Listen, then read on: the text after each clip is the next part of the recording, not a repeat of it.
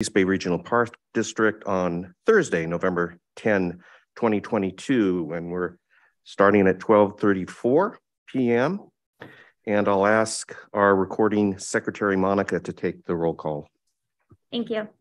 President Coffey, Present. Director Rosario, Here. and Director Waespi filling in for Director Lane. Here. And I also wanted to go ahead and announce the staff here present. Thank you.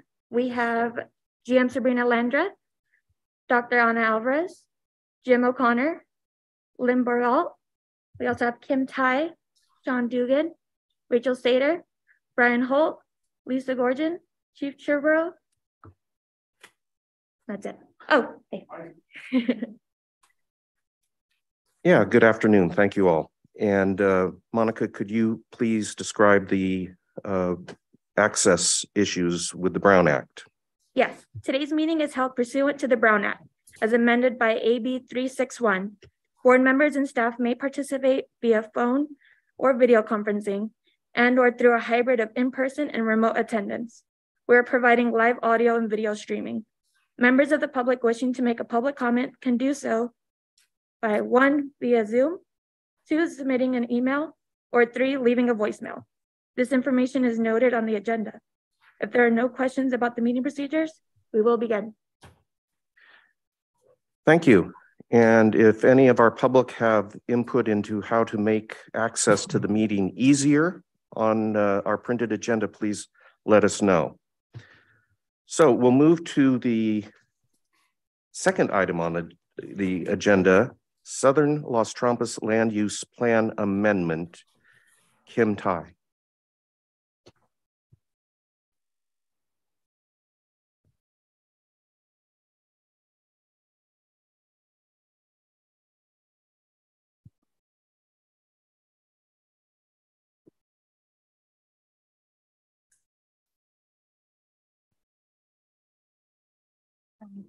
Good afternoon, President Coffey uh, and members of the Board Executive Committee. Kim Tai, Senior Planner with the Planning Trails and GIS Department.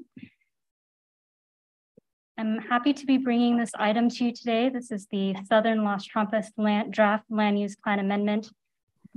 Thank you. And Draft Environmental Impact Report, or uh, EIR, to you. I'm going to go ahead and share my screen.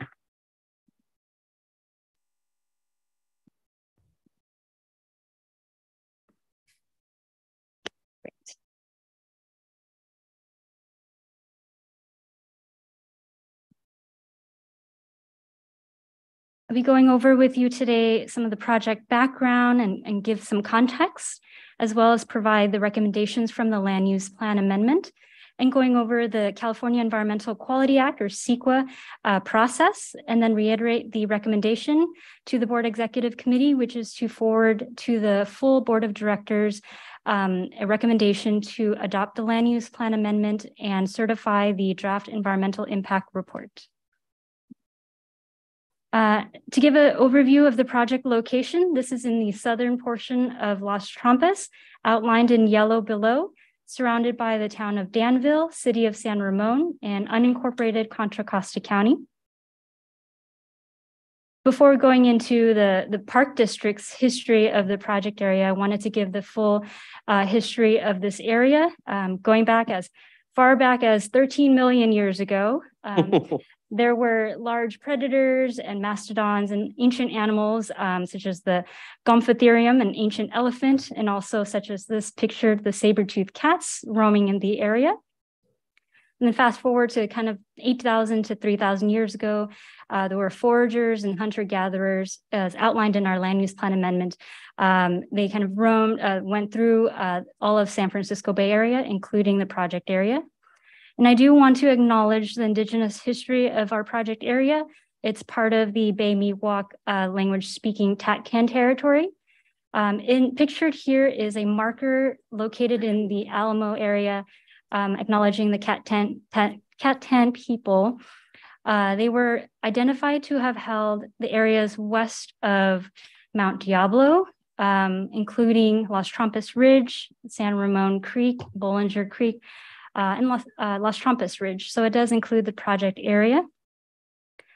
Um, then in 1772, when the Spanish came uh, and established missions, Mission San Jose, which is now in Fremont, um, used this project area for cattle grazing and sheep grazing. Uh, following that in 1821, um, the project area was part of what's known as the Rancho San Ramon. And, and at this time, at that time, it was still heavily used for cattle ranching. Um, pictured here is an example in uh, as part of the Wiedemann Ranch when they would did when they were doing the cattle ranching. Uh, from the 1900s to today, cattle ranching continued, um, but San Ramon Valley was also prominently known for orchards, including uh, Bartlett pears, as seen here in this advertisement. Uh, then that slowly gave way to uh, residential development, which is the predominant uh, land use currently today. Now, in terms of the history of the park district's uh, uh, history of this project area, it actually only spans 40 years rather than the 13 million years of the, the area. Um, so beginning in 1983, 40 years, almost 40 years ago, uh, the Park District acquired the 58 acre Peters Ranch property as a condition of approval for residential development just to the east of that green uh, parcel there. Uh, it's currently in land bank, and um, at the time it was discontinuous from the larger Las Trampas. But as stated in the 1993 Land Use Development Plan for Las Trampas, the goal for that parcel was to eventually connect to the larger Las Trampas and uh, connect to the Calaveras Ridge Trail. In 2007, the Park District acquired, acquired the uh, 228 acre Chen property in fee. At the time, the previous par property owners of the Chen property had proposed uh, residential development in that area. But instead, the Park District acquired and purchased this property with the goal of um, providing a staging area on the property as kind of a southern gateway into Las Trampas um, and trail up to Las Trampas Ridge. And so in doing so, the Park District has been able to kind of maintain the semi-rural character of this property um, kind of consistent with that area. In 2015, we acquired the Elworthy property uh, as a condition of approval for residential development. Um, along with that development, um, a staging area, a 12 car staging area was developed, as well as trail from that staging area, up to Las Trampas Ridge. That staging area and trail are already open to the public, so uh, people can now go onto the staging area and get onto Las Trampas Ridge. In 2015, we acquired the Padva property, about 96 acres, um, as a condition of approval for residential development called the Red Hawk. And that one included, excuse me, um, a walk-in entrance, uh, and from the walk-in entrance, a trail into uh, an existing park, uh, the existing trail network in Las Trampas. Um, so the trail and walk-in entrance, which has on-street parking, have already been covered under the CEQA uh, as part of that residential development. So this land use plan amendment would be uh, to recommend that it uh, be open to the public. And finally, we are anticipating that the 141 acre Faria open space property uh, at the southern portion here will be anticipated to be uh, coming to the park district um, actually as a condition of a settlement agreement um, between the city of San Ramon, the Park District, and in conjunction with the Sierra Club um, uh, for the Faria residential developers. Um, as part of that settlement agreement, not only are we getting the 141 acre open space, but the developers will be constructing for us um, a 25 car staging area located along the Chen property, right along Bollinger Canyon Road. And I'll go into detail on that in the following slides. Um, but as you can see here, um, together, these five uh, parcels highlighted in green come together uh, to form the southern portion of Las Trampas. And because of the way they came to the Park District as either conditions of approval, residential development, or settlement agreement, it, it was a right, it became ripe for a land use plan amendment to be done to formally incorporate them into Las Trampas. Typically, we've done land use plans and land use plan, land use plan amendments for the entire parkland, but because of the way they came, uh, this land use plan amendment focuses just on these five parcels. Um, going over the land use plan amendment recommendations, we will be planning to open the land bank properties highlighted in the bright green, Peters Ranch, Chen property, and Padva property. Uh, we include the, the recommendations include 4.2 miles of recreation trails to be open for public access. Uh, three new park access points uh, shown here in the purple stars. So that includes the one new staging area. It's a 25 car staging area along Bollinger Canyon Road in the Chen property.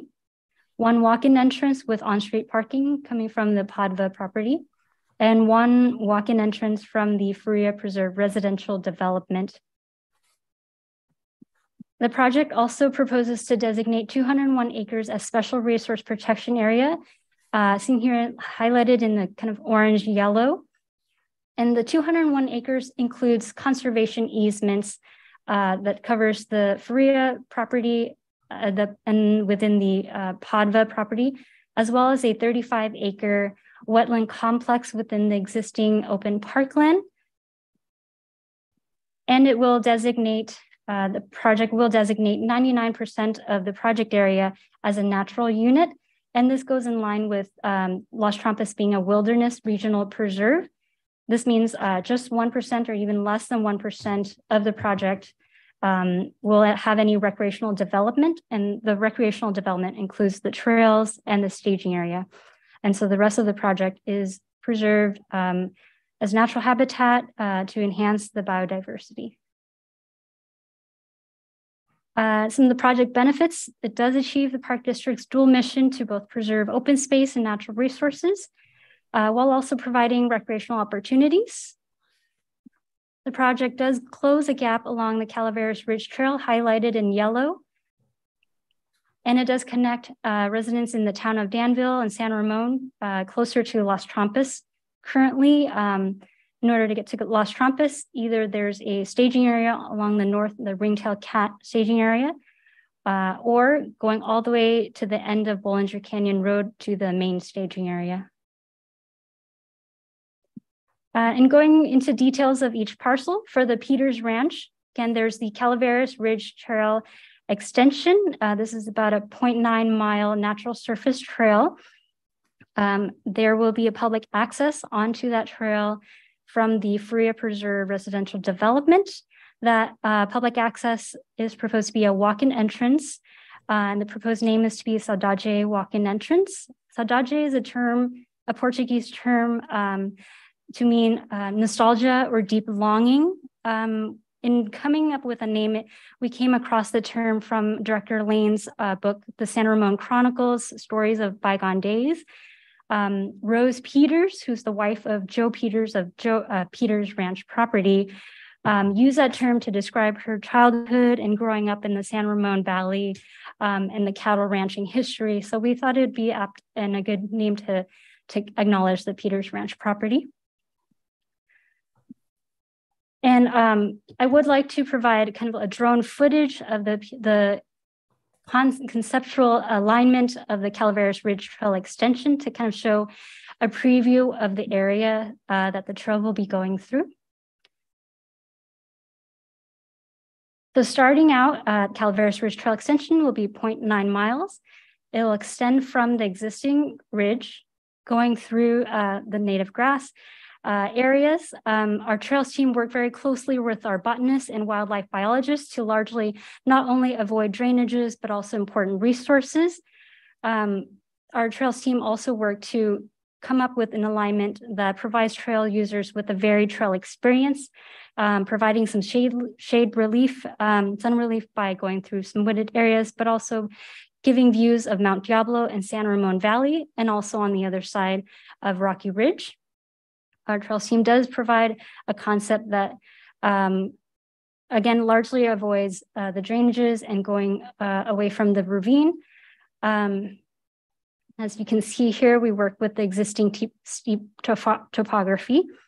Um, and the actual trail, this is just the concept, but the actual trail will largely depend on uh, what's on site.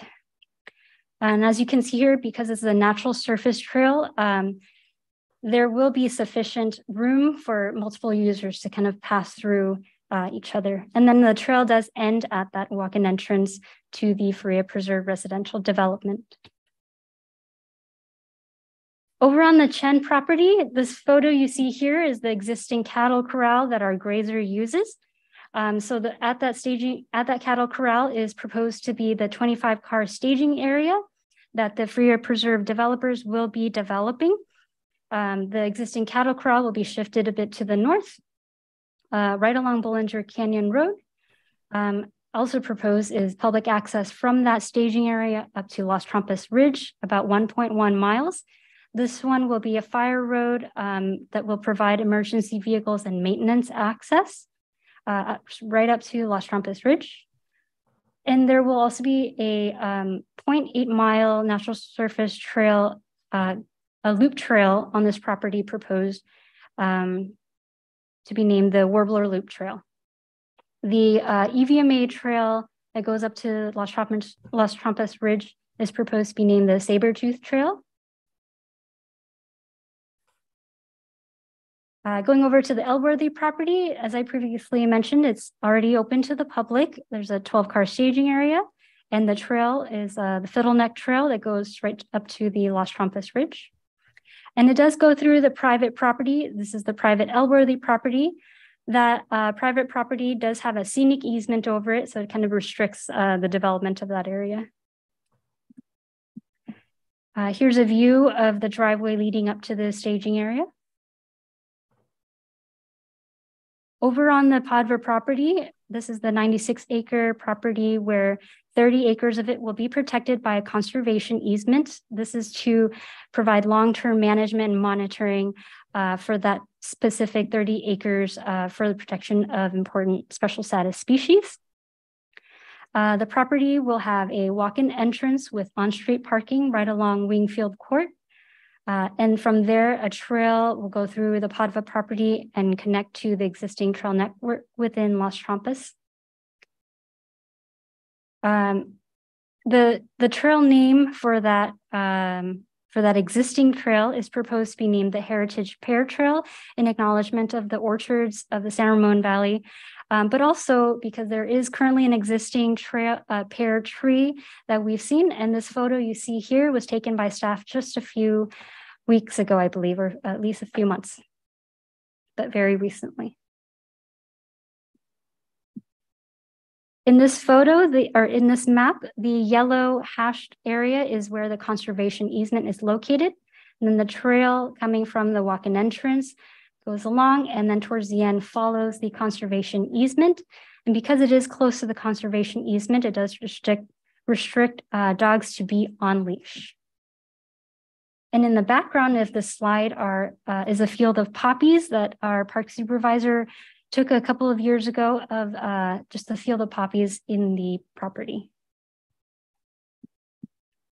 Here's a view of the uh, entrance to the walk-in, uh, the walk-in entrance from Wingfield Court. Again, this was all developed in 2018 uh, prior to the acceptance by the Park District. In the Faria property, which is anticipated to be dedicated to the Park District next year, um, 136 acres of the property will be protected by a conservation easement, again, for the protection of special status species. The 25 car staging area that's proposed to be along Bollinger Canyon Road will be constructed by these developers. Um, as a condition, as, as a stipulation of the settlement agreement, again by the City of San Ramon, the Park District, and the Sierra Club. Here are some photos we've taken from within the property. And finally, um, the about 201 acres is proposed to be designated as special resource protection area within the, the project area. This includes the 136 acres of conservation easement in the Faria property, 30 in the Padva property, and the 35 acre uh, mosaic wetland complex. And this is for the protection of the California red-legged frog, as well as the California tiger salamander.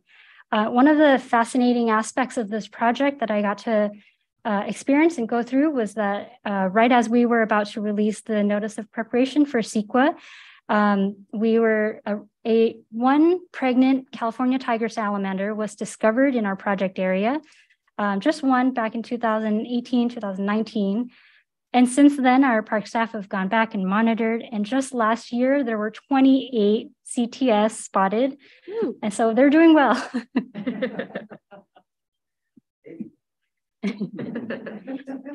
and just to recap the LUPA recommendations, again, to open land bank properties, Peters Ranch, Chen, and Padva land bank properties, provide 4.2 miles of recreation trails, the three new park access points, the designation of the special resource protection area, and over 99% of the project area as a natural unit. What is a natural unit? A, a natural unit is just pres to preserve the natural environment and habitat and to protect the biodiversity of the, the park um, versus the recreation unit, which is the development for trails for staging areas. So the natural unit will not have any trails, will not have the staging area. Uh, those aspects of the those components of the project are considered the recreation unit. So that would be part of the 1% of the project area. Okay. Uh, I, I, would like to break down the trail recommendations. So the total trails for public access, again, is 4.2 miles. Of those 4.2 miles, uh, highlighted in blue on the map is the existing trail, 1.4 miles. That's the Heritage Pear Trail that will uh, just be recommended to be open for public access. That's already gone through CEQA, uh, already constructed by the developers. In terms of new construction, uh, that's the one highlighted in pink on the map. That's 2.8 miles, and that includes the Saber-Tooth Trail, Warbler Loop Trail, and the Calaveras Ridge Trail extension. Uh, and bringing further down, 1.1 uh, mile of that new construction will be multi-use road for EVMA access. And then uh, the new natural surface trail multi-use, new natural surface multi-use trail will be 1.7 miles. So that will be the Calaver Calaveras Ridge Trail extension and the Warbler Loop Trail.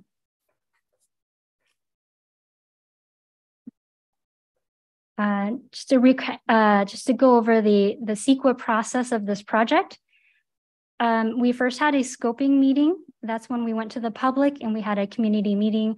We held it as a scoping meeting. About 60 uh, people attended, uh, and we received public input at that point. Uh, then the next step was to determine the CEQA level of environmental review. Uh, in preparing an initial study with our consultants, it was determined to be an environmental impact report. Uh, then we released the uh, notice of preparation of an EIR and the initial study to the public over a 30 day review period. At that time, we received 21 public comments. Using the public comments, and uh, we worked with our consultants, we did the envir environmental analysis to draft to prepare the draft EIR. Um, so in the EIR, it analyzes potential environmental impacts of the proposed project on the environmental resources, uh, such as air quality, uh, noise, um, wildfire. And the EIR determined that the proposed project would not result in any significant impacts. All potential impacts would be reduced to less than significant with mitigation measures. And the EIR, the draft EIR and draft land use plan amendment are currently available for review as hard copy at uh, Peralta Oaks office, the Danville Library, San Ramon Library, and it's also available on our website. So right now we are uh, in the middle of the 45 day uh, public review process, uh, review period. Following that, there will be the final EIR, which includes the response to comments document and the, the EIR itself. And that will go to the board, the full board of directors for certification.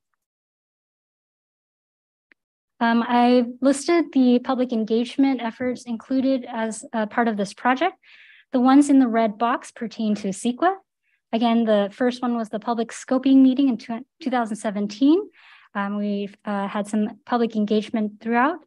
Then the 30 day review period for the NOP, where we received the 21 comments. Um, in 2020 and 20, 2021, last year, we worked to incorporate these public comments into the project design. Uh, for example, some of the comments we received through that NOP were some concerns with uh, noise or smells coming from vault toilets at the staging area.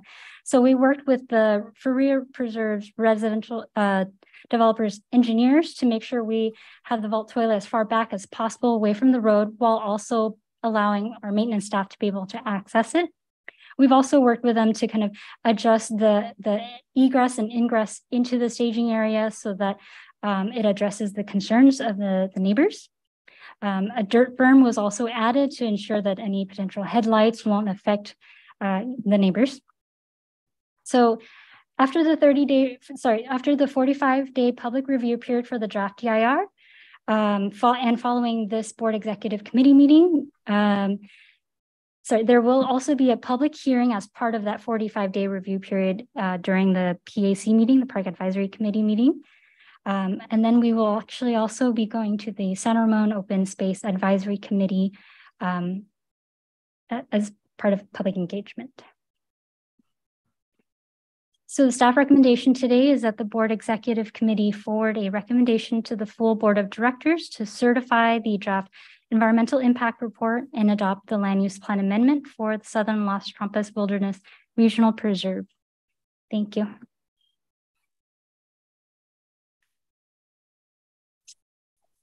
Thank you. I enjoyed the graphics. Mm-hmm. Very well done, seeing exactly how a trail will be contoured to the topography there. That was excellent. Thank so, you. So thank you, Kim. I'll bring the topic to the committee and ask if there are any questions or comments from Director Rosario or Director Waespi. Director Rosario? Thank you. A very nice presentation, and this is very exciting.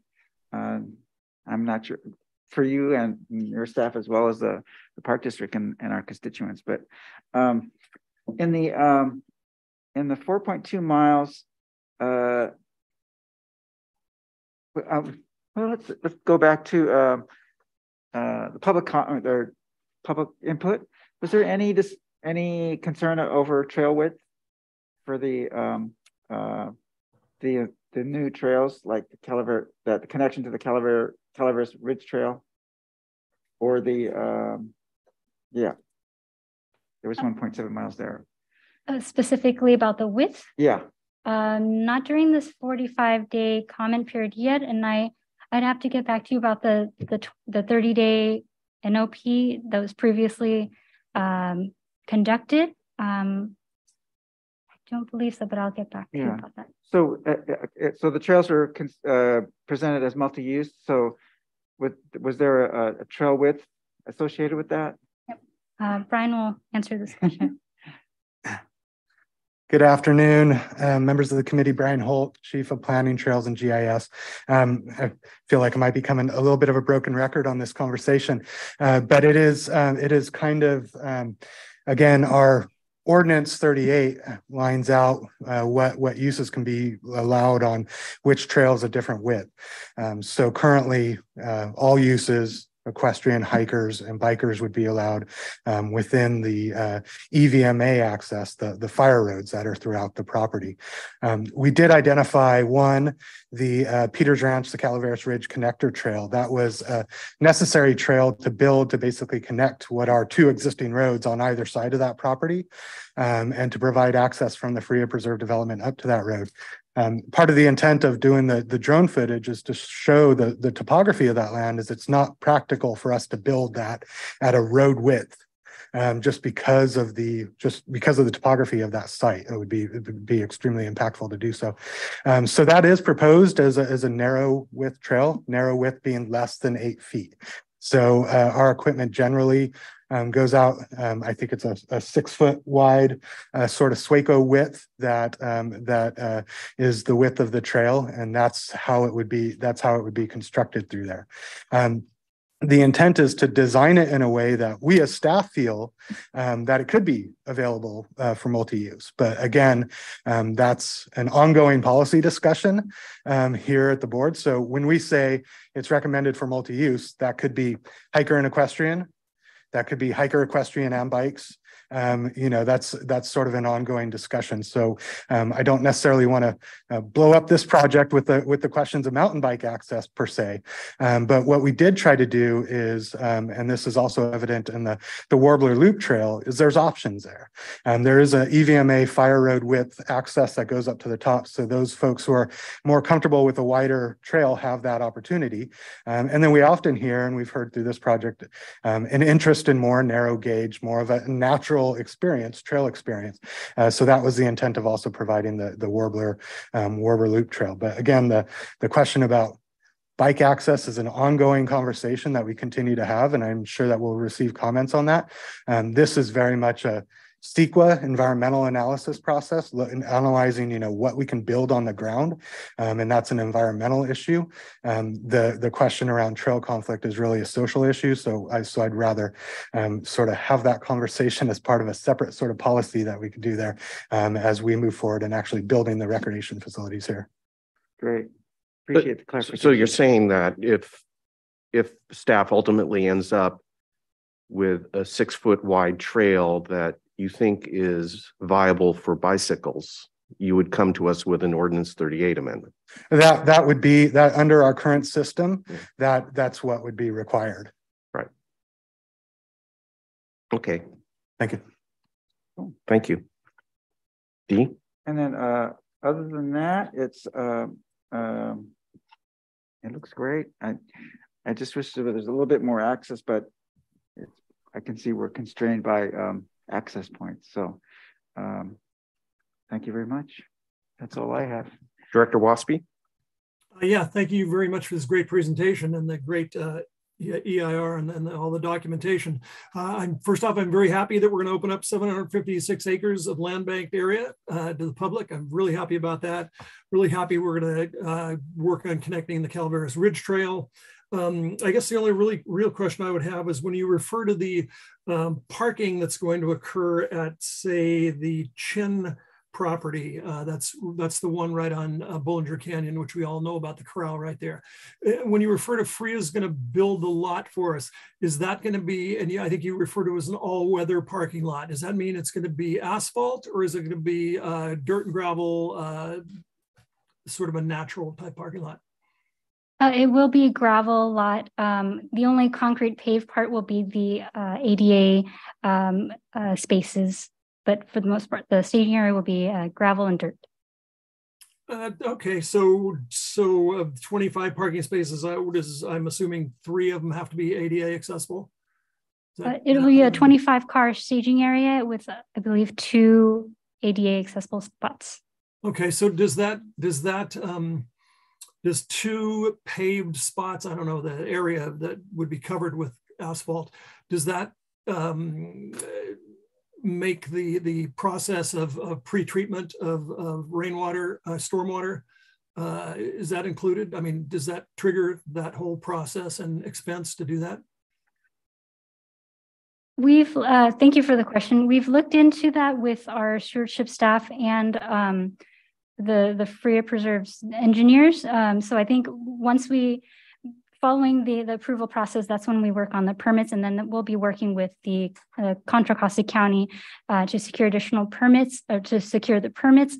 And so at that point, um, uh, we'll know for sure if it does uh, need any of the particular um, uh, stormwater permits. Um, yep. And and either way, um, uh, the Faria folks are responsible for the cost of that, right? Uh, do you mean the cost of, so the part of the, the settlement agreement, um, the Faria developers will be uh, taking on the cost of the construction of the, the staging area.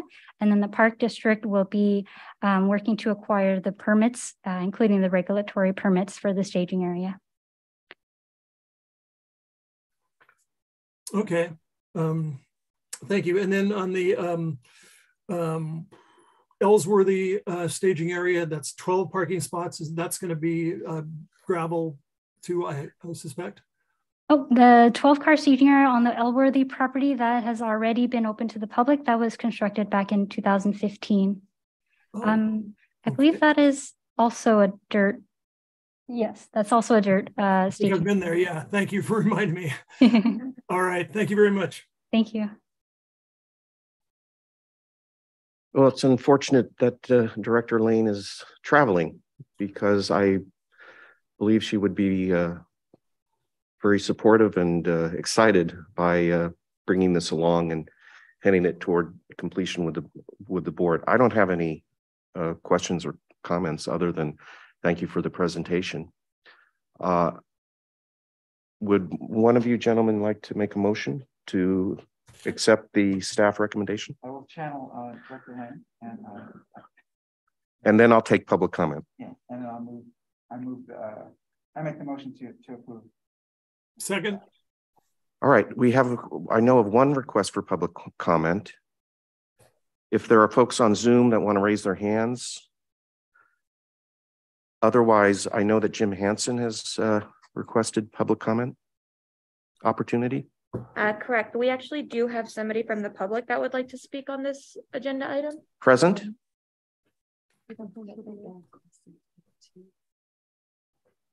Okay.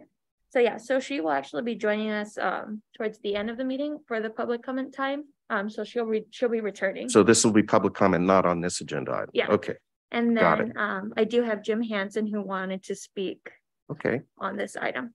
Go ahead and call on Jim. And he, go ahead, Jim Hansen. Thank you.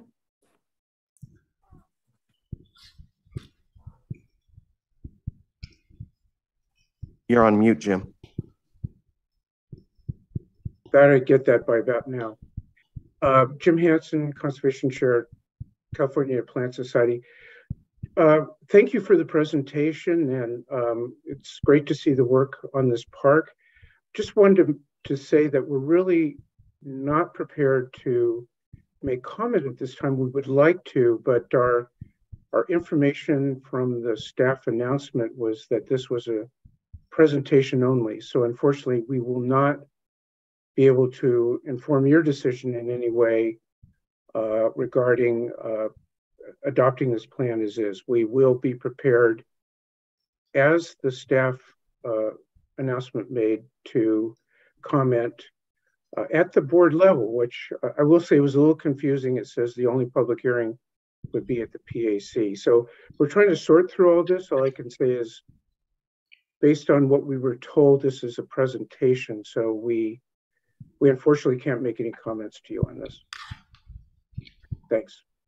Thank you, Jim. When is it, I, I, say again, when is it anticipated that this will go to the full board? It's not on your chart. Uh, so far, we only have the public hearing at the PAC on the twenty-eighth of this month, uh, but the, the date to go to the board is, uh, to be determined at this point. Oh, okay. So that's why it's not on the chart. And if I can just add, we're a little confused if the board not, we'll, we'll try to find out if the board is taking comments at their meeting from the public on the plan. Uh, because it only says there's one public hearing at your advisory committee, uh, which is a process I'm not familiar with. Thanks.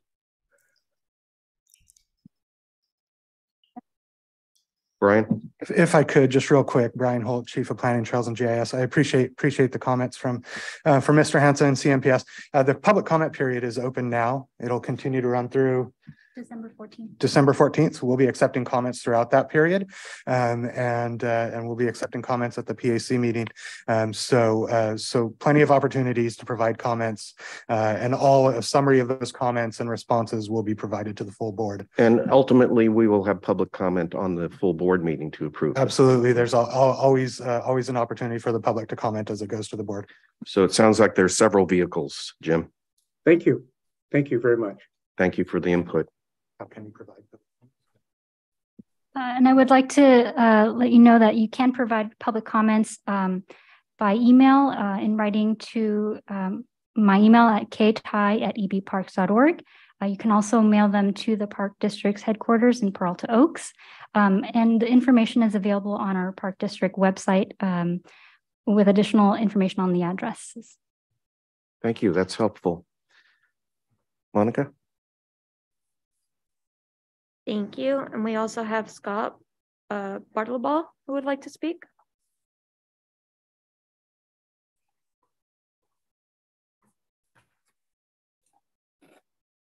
Hello, thank you uh, for the opportunity to uh, comment and um, thank you for the uh, presentation. It was very informative and the materials that were provided in the packet and uh, on the planning website. Um, looks like a, a, very good plan to provide access uh, to, to this parcel while also maintaining a very high degree of, of conservation um, in, in, the area with recreation limited to, to 1% of uh, the, the total acreage. Um, we're glad to see, uh, well, I, am advocacy director for Bicycle Trails Council of the East Bay, sorry.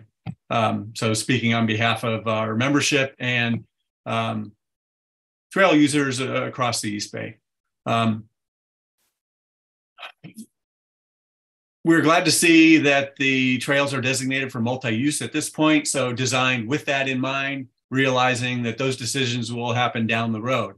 Um, with this being new trail construction um, or existing roadways or roadway with new construction um, where possible, um, it seems that bicycle access should be very feasible um, and, and, minimize conflict. Um, I think the animated view of the Calaveras Ridge Trail extension shows that the bulk of that is in open grassland and the, the sections that are envisioned to go in the tree line uh, appear that it would be very easy to have um, good sight lines in those areas. Um, the six foot wide Sweco width um, provides a lot of space when combined with um, new design with multi-use intent. Um, the the other areas uh, we didn't see an animation in the warbler loop, but the saber tooth is is planned to be road with. Um, so from that point of view, it doesn't look like a high conflict area. Um, this does provide some good connectivity um, for the, the local residents uh, to get into this area and a variety of trails um, with access there. So we, we urge the board to, to support this and, and move this forward. Thank you for your time. Thank you, Scott. So I kind of jumped the gun and have a motion and second already. so uh, if there's no further public comment. Oh, so we do have Jody Culver who would like to speak on the item. Oh, and she's here in the public. We have someone present here. Yes. Nice That's change. Delightful. Yes. okay. Yes, uh, my name is Jody Culver. I'm a resident of Crow Canyon Road. So the the entire Faria project has been um, so impactful because of the, of the, devastation to that whole hillside. So I'm I um I'm happy to see that the uh, oh uh, the pr- Preserve project they are now growing uh, planting out valley oaks as well as uh, coast live oaks. Okay, so what I'm I'm I'm hoping to address is um, the interface with the uh, park district and the Faria project preserve. I'm hoping that they actually do the park district uh, um, actually does a restoration where they plant native trees that uh, would be represented in that area, like uh, not just coast live oaks, which I see mostly coast live oaks, valley oaks, and perhaps even bays and madrones, buckeyes, and even uh, native grasses uh, so that we um, really restore that hillside as much as possible. So I think those native plantings could potentially make a huge difference because there, there presently there's a lack of biodiversity eh, with that major, um, I would say, devastation of that hillside. So that is it, mostly. so anyway, that's it. Okay, thank you. Thank you for coming in today. Yeah, sure. Very much appreciated. Thank you for the input. Any further comment? Kim, did you want to say something? No? Okay. Thank you. So, Monica? Hmm? Oh, uh, sure. I'll ask if uh, there's any uh, response to the planting of uh, native trees and shrubs and such? Uh, so that was in reference to the Faria preserves uh, residential development, um, which is separate from the, the property that will be coming to the park district. It, it's adjacent, but that is their own project project. Um, Jody was referring to the some of the plantings that they're doing as part of their mitigation for for their residential development uh, on their property. Okay. Thank you, Jody. Thank you, Kim. So, Madam Secretary, would you call the roll of the committee? Yes. The President Motion was made and seconded, so we're Oh, to the motion. perfect.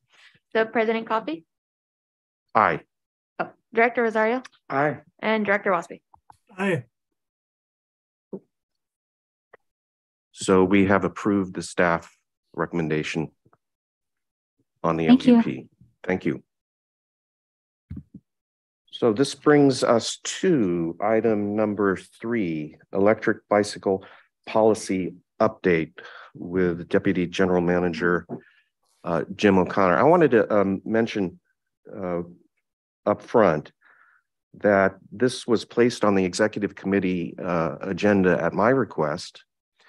Uh, and I confirmed with uh, Jim and legal counsel before the meeting that this is intended as an information only item. That despite our little R next to the stat under the status, uh, the uh, report uh, was designed as information only at this point. And I asked that the item be taken up by the exec committee because I thought that the issue was important enough to get the process of considering e-bike policy uh, before the board of directors, before directors Wieskamp and Lane left the board. Now, this thought came about when Director Lane and I read the MidPen report that's extensively referenced in our staff report and thought that, you know, this would be a good basis. Uh, they, they did very detailed studies and surveys uh, to start our own process.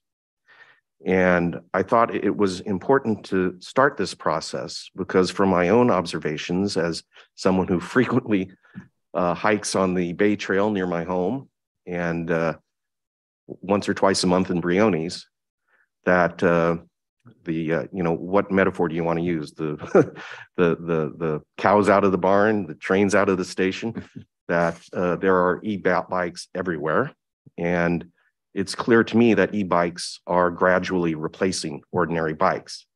We probably should have started a process of developing e-bike policy several years ago when this started happening, but it's really come forward and with, with a very um, major uh, need uh, after COVID, and so many people went out and bought e-bikes.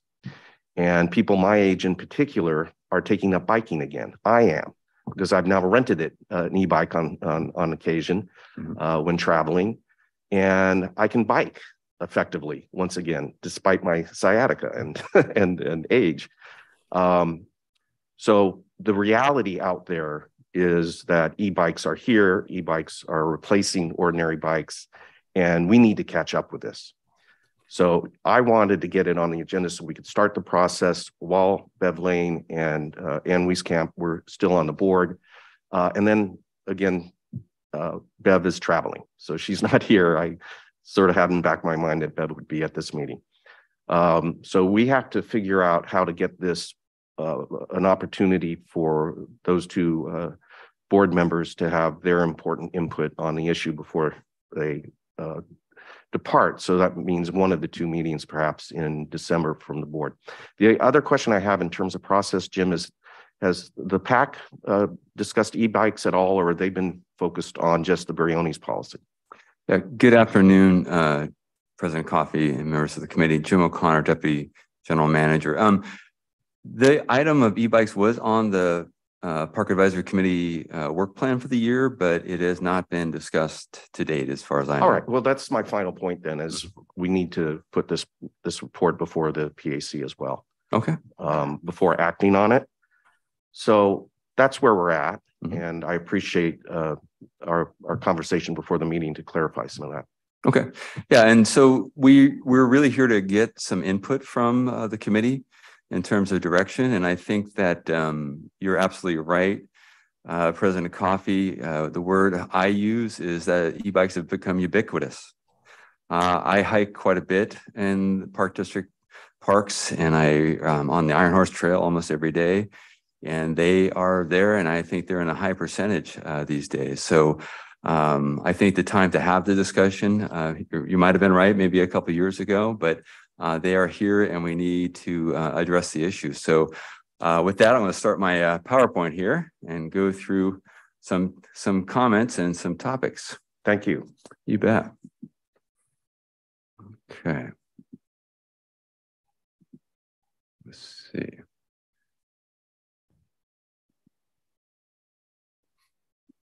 There we are. Oops. Okay.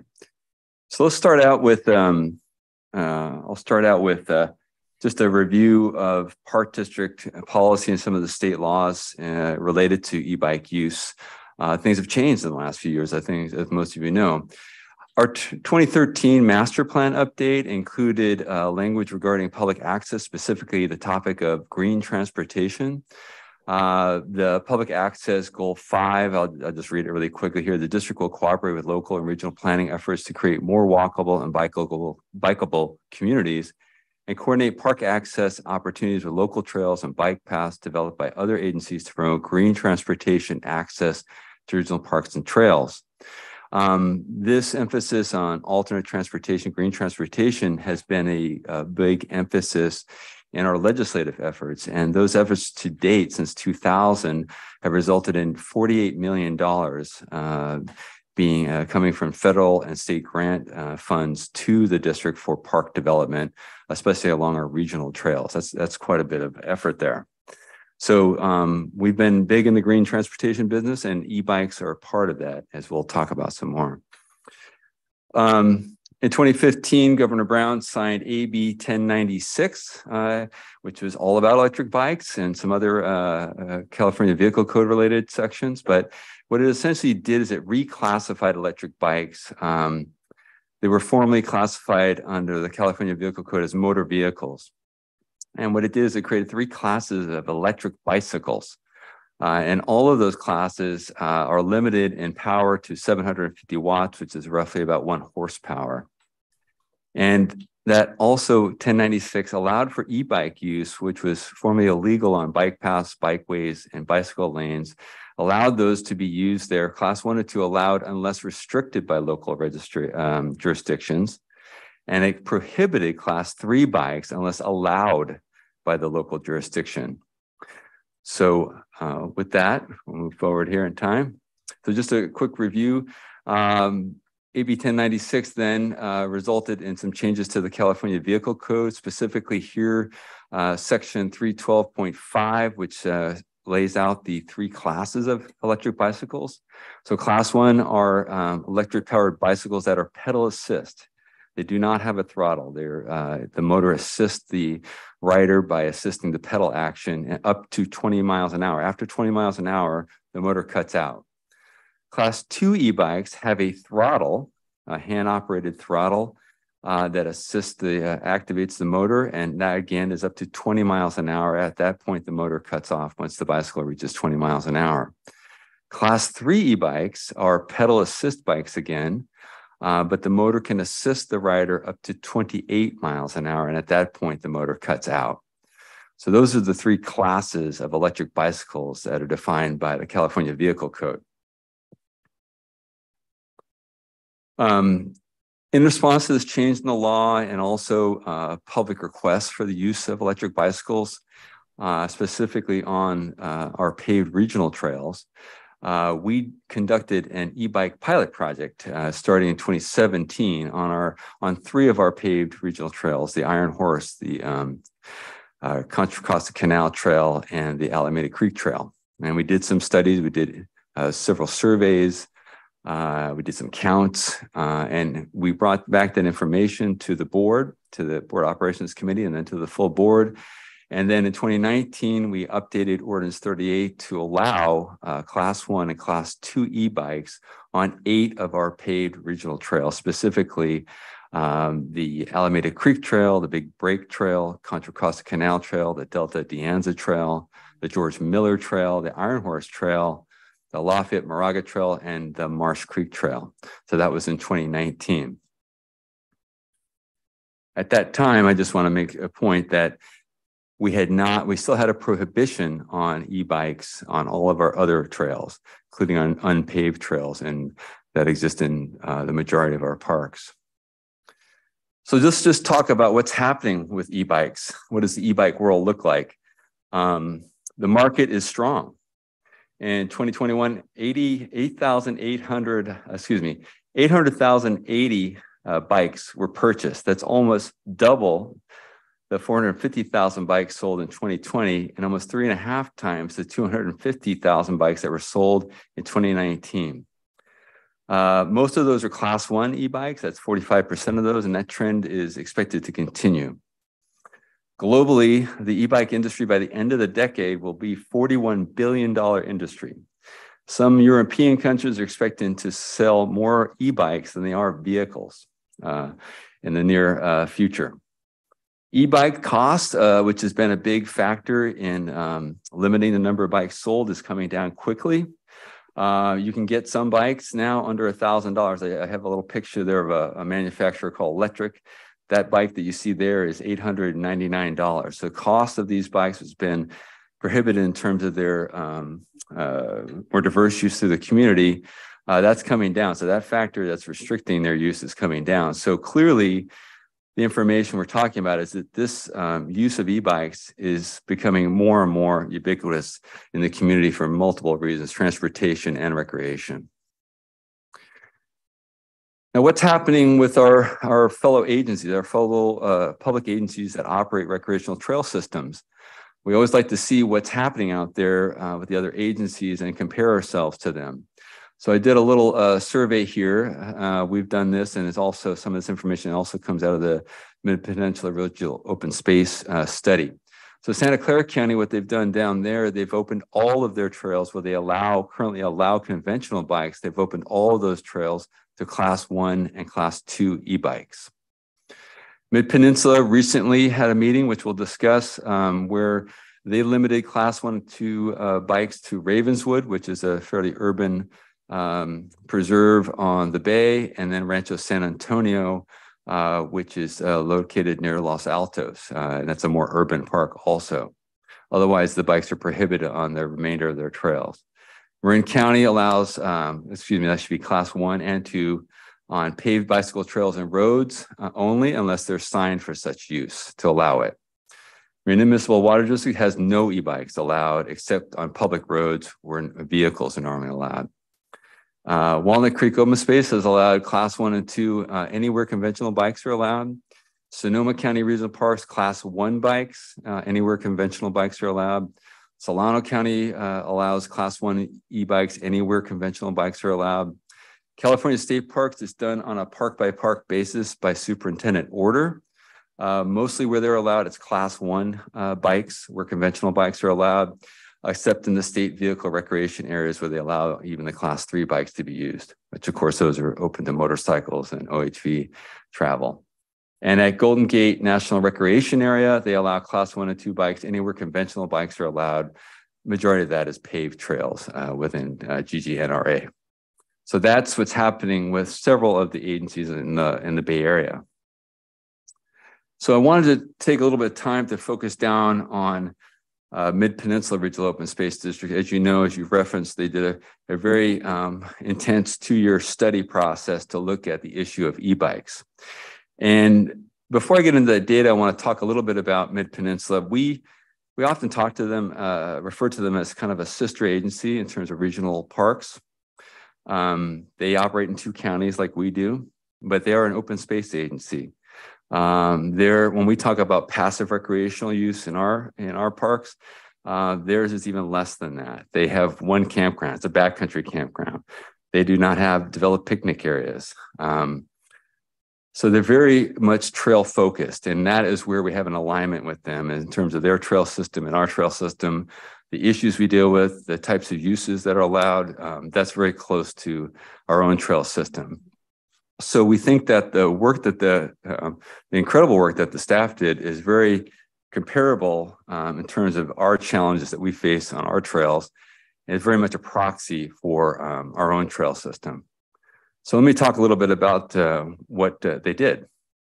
So they did uh, almost a two-year review process and included a one-year pilot project at Ravenswood and Rancho San Antonio where they allowed class one and two e-bikes. They also did an intercept survey of riders at uh, Santa Clara County parks, uh, which interfaced with their preserves in many locations. So they went out to their unpaved trails and did intercept surveys with um, trail users. They did a specific study on e-bike noise and the potential impacts to wildlife. Um, they also have what's called their uh, science advisory panel. And that science advisory panel conducted a literature review of e-bike research related impacts and benefits, trying to look at if there was um, some scientific studies about the potential impacts of e-bikes. And then they also did a review of their enforcement citation and accident uh, report data. And I'm just going to do a highlight of some of that. And I did provide a link in the staff report to that full study, if anybody like to see it. Um, there's also a, uh, a um, YouTube video of that entire meeting if somebody wants to look at that. So let's take a look at some of this data. So this is the pilot study at Ravenswood and Rancho San Antonio or RSA. So they divided up the questions into one first class one e-bike use, uh, 556 total um, users were, um, were surveyed. So 40% of those users supported the use on paved and unpaved uh, use. That's class one bikes.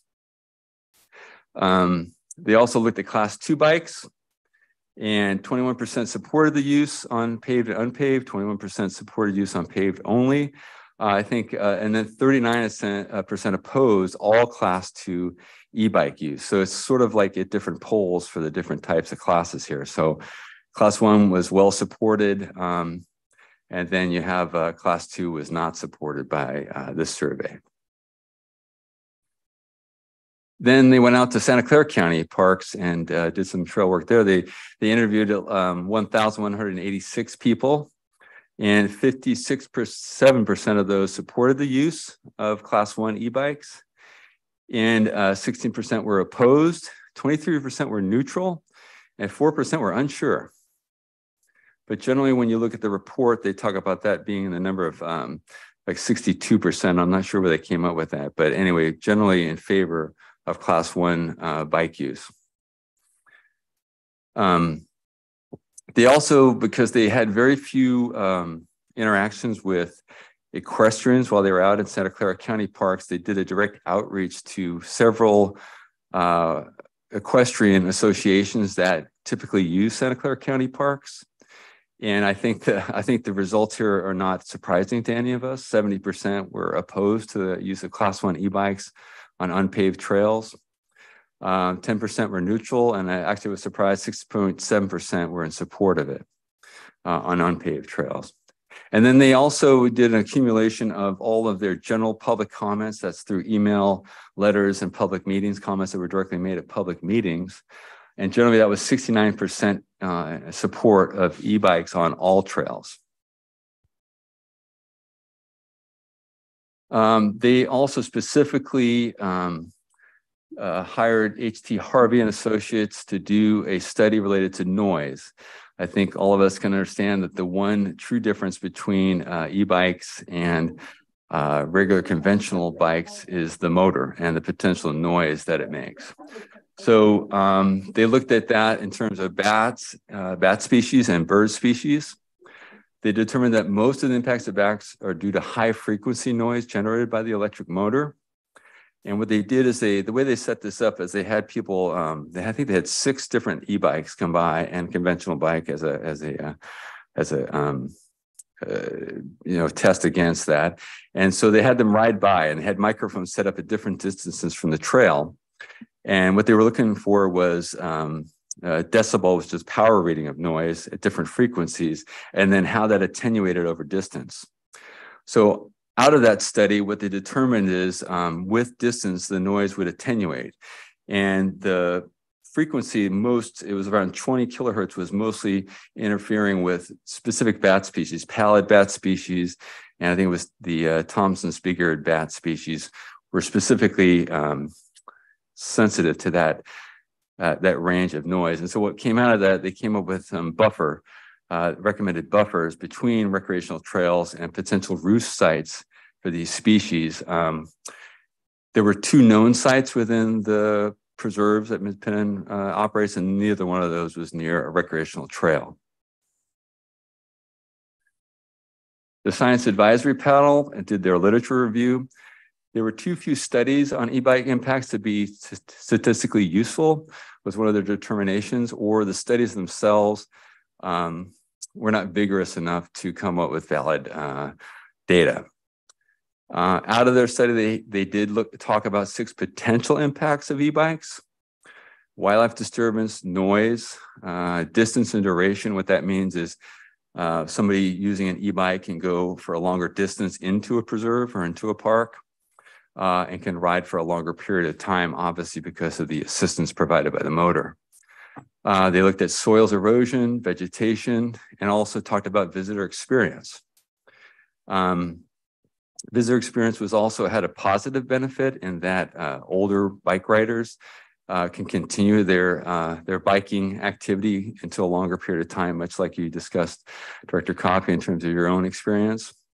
Uh, also, those people with mobility challenges also could uh, be assisted by electric bicycle in terms of their access into parks uh, and trails.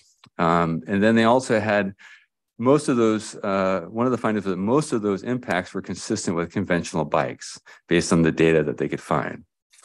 Uh, they also had recommendations about how to deal with uh, e-bikes, but almost all of those were consistent with current practices at Mid-Peninsula in terms of managing bike use on trails. So what was the result? Uh, all of this data was presented at um, the Mid-Peninsula board meeting on June 29th. I've watched that meeting twice uh, myself.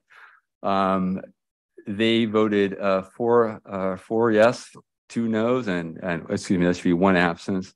And they affirmed the prohibition of e-bikes on district unpaved trails, except for the use of class one and class two e-bikes at both uh, Ravenswood Open Space Preserve and Rancho San Antonio Preserve. So basically the status quo, maintained the status quo at Mid-Peninsula.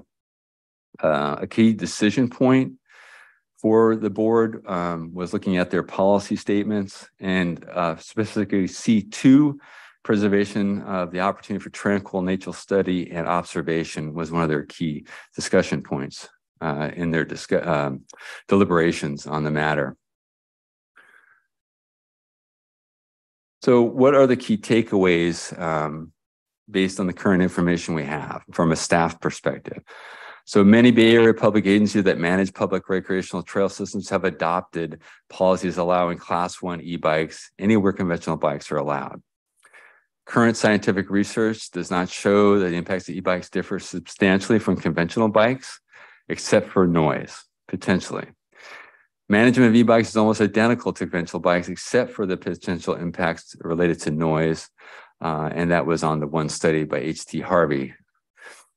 E-bike usage has become common in district parks to the point that enforcement of restrictions would be time consuming and non-productive compared to a focus on rider behavior and this is what the chief often refers to as behavior over batteries. How people are riding uh, is the consistent uh, thing we want to focus on. E-bikes can facilitate trail access for older people and others with mobility challenges and are playing an increasingly vital role in promoting green transportation options. So where does the staff stand on this in terms of what where we want to go in the future? Um, we would like to take this to the board for an ordinance 38 change to allow class one e-bikes on all district trails that currently allow conventional bike use. Um, and we want to continue the use of class two e-bikes on the eight regional trails that currently allow e-bike usage. So uh, with that, I will uh, take any questions. I also have Chief Chirubero here answer any questions related to enforcement. Thank you, Jim. There's a lot to unpack there. Yeah, it is. It's a big issue. So back to the committee. Director, comments and questions. Director Rosario. Yeah, um, I'm very happy that we're here. This is not a uh, uh, recommended, I mean, um, a recommendation to the board that it is in fact informational, correct? That's correct. Thank you. Thank you for making that clarification early.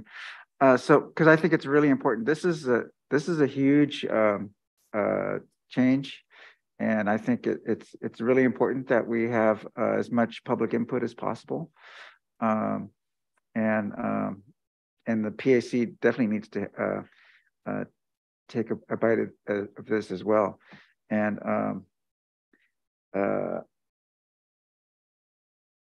um, and I think this is a great opportunity, especially now that we have some agencies that are um, already adopted uh, policies allowing uh, e-bikes to some extent. Uh, it would be great to follow them and uh, see what their uh, what their experiences is, and uh, include that in in our in our in public input. And um, yeah, it's it's it, it, it, it's a huge deal, and um, yeah, I, I don't want to make I don't want to make uh, I don't want to make a misstep whether whether we go one way or the other. But I, I want to make sure that we get as as much input as, as possible. So uh, I guess I'm advocating for a public a public process, uh, and that you know there really is no. We've been sitting on this for a while, a couple more months, or or, or even half a year. Uh, just adds to the um, uh, adds to the process, but also adds to the data that we need. So, uh,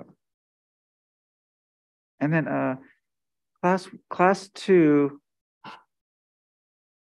class two, they have a they have a throttle, mm -hmm. but uh, do they have to be pedaling? There are both bikes that I've seen class two. There's some that are pure throttle, and then there are some that are both a throttle and pedal. So there's a mixture of those that I've seen. Okay. Yeah, the bikes, I mean, um, some of the bikes that I've seen, e-bikes I've seen on the trail, they're obviously not pedaling. Yeah. So I, I have issues with those. And uh, I really would like to hear a discussion uh, in this in this process of how how we're going to um, um, manage some some of these uh, these critical things. I, I think that are critical. Number one is determining uh, uh,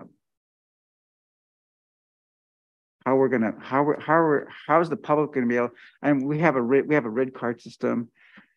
Uh, how are we gonna track all this and um and how we're gonna enforce the uh, yes we're gonna enforce bad behavior but not some of these things are when they're using when they're on full throttle very hard to get a description of some of these folks that are that are on there. Um, so it, it i would hear like to hear a discussion how be, our best practices on um, enforcing some of uh, the issues that we're going to face with with uh, e-bikes.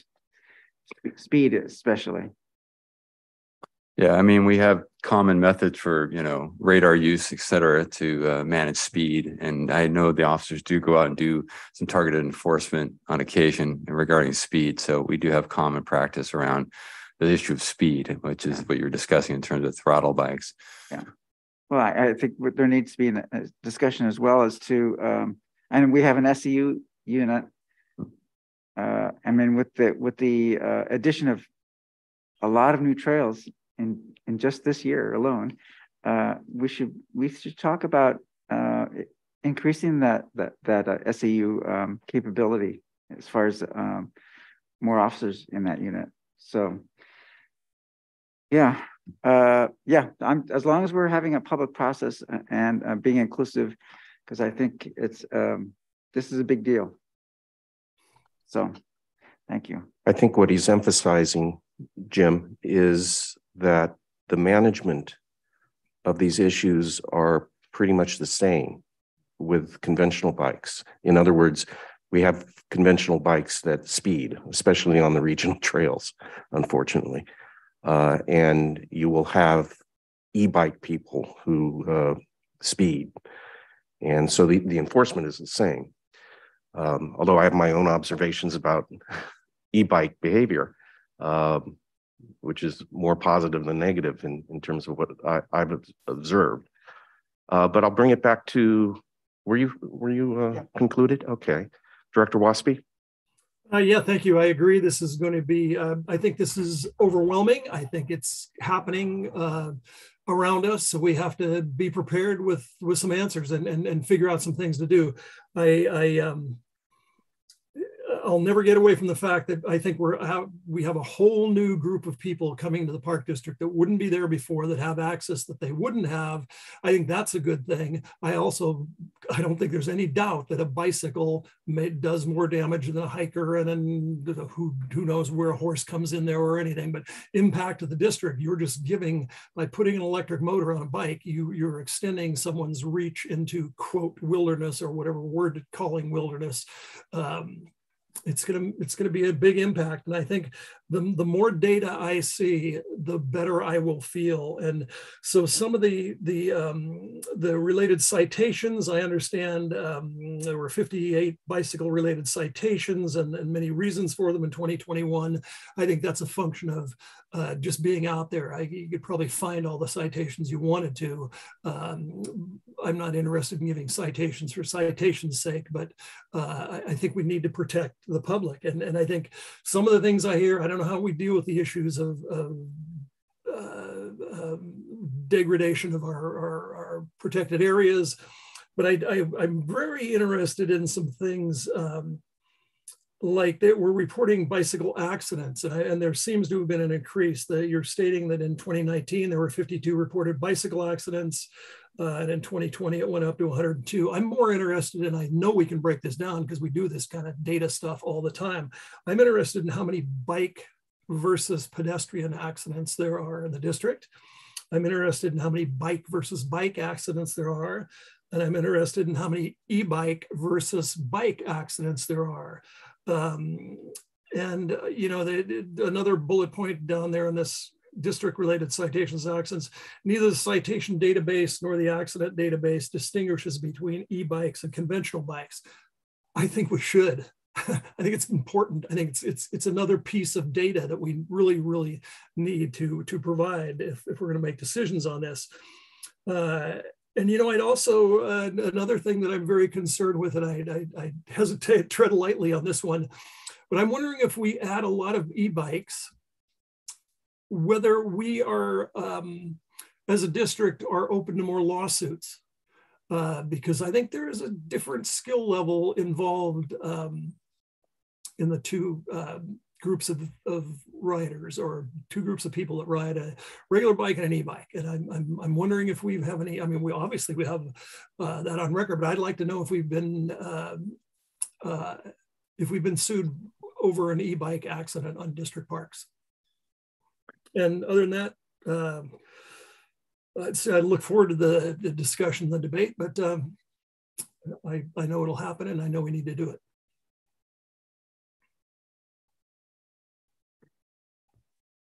Would either of you object to having this as an information item for the full board in December sometime? Not at all. I think I think it would be a good idea. We would start this discussion. And then, uh, and then, And we'd have the input of our two Yeah. members who will be leaving, and then ultimately the decision will be left to the future board mhm, with two new board, board members. yeah, I think, I think it's appropriate. Okay, I just wanted to get that process down with the, the committee. So, you know, I view this issue as, I view how we are dealing at large with the new volumes. In other words, we have a lot more people using parks and we have a lot more bicyclists. You sh showed us statistics at Briones. Um, and we're spending a lot of time and energy and resources in, in dealing with these new volumes. And so we're going to have more bikes. I, I realize and I, I agree there are a lot of issues to address, but the reality that we're, we have is that e-bikes will ultimately become probably fairly soon the majority of bicycle users in our parks and on our trails. Um, I was out at Briones the other evening and uh, at least and a lot of mountain bikers were coming in. um, at least half were uh, e-bikes. And you know, I understand that by providing motors, you are extending the ability of people to utilize the parks. Mm-hmm. Um, I have trouble with the concept of that being a bad thing when we are continually trying to figure out how to provide access to the parks in a reasonable manner while protecting habitat, while protecting op open space. That is our fundamental tension in what we do. And this just presents that issue um, in yet another way. Um, I mean, I, I do see that this will allow additional users up on ridges, for instance, where people like myself don't go if, if we're on a bike because it's too steep. Uh, so it could lead to increased volume in terms of depth and, and some of the scope of the use of our parks. But, you know, overall, I don't think we're adding significantly to, to volume by allowing the e-bikes because once again, they're replacing conventional bikes. So there will be some percentage of those users, mostly older folks like me, who will be there who weren't before. So, you know, that that's that's probably some statistic we could guess at. Um, but otherwise, we're just dealing with um, with with volume as we are, and have to do uh, because of these volumes. I'm comfortable with saying something as you have to the effect that we can't enforce our rules. And we know that today because, again, half the, uh, the, the, bikes I saw at Briones the other evening were e, e-bikes. And I appreciate that Chief Chaburo doesn't want his people giving people like me a ticket because uh, you know I'm in my 60s and, and, and, I'm on an e-bike. Um, and I view this as I do a number of enforcement issues that we deal with as, you know, the, the enforcement issue is the equivalent of trying to succeed in preventing graffiti. Mm-hmm. Uh, you'd have to have police everywhere all the time to, to, to enforce this. And not only is enforcement therefore impossible, I'll use the term, I mean, you could try, um, but it would it's it's going to be unrealistic because it will effectively ban people who use bicycles once many of them are uh, now using e-bikes. I have a question, and that is why the distinction between class one and class two in these agencies that, and, and in your own recommendation, that we limit access to just class one? Um, I question the distinction because you can't speed any faster in with a class two than a class one. Um, and then again, there's the enforcement issue. I guess our folks would be out there and maybe see the little throttle. There's a, as my recollection from my use of, uh, my use has been of class two. Um, there is a little box there that that uh, I guess is the throttle. Mm-hmm. Um, but that's kind of hard. That's a nuance to you know, watching someone go by in an e-bike.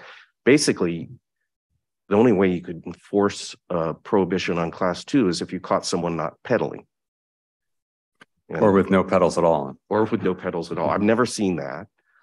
I've never seen anybody on our trails not pedaling, even old people, you know, even uphill. Um, so I, you know, again, I have a, a I see the majority of these agencies uh, don't distinguish between class one and class two.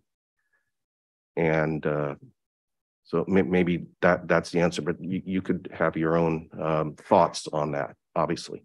It's a, it's a really good, good question. Um, I think that uh, one of the challenges that we have seen out in parks um, is that there, of course, we're here we are near Silicon Valley, right? And so, of course, people start to mod these things. A lot of the leading edge technology around this shows up around here because people have money to buy this uh, type of technology.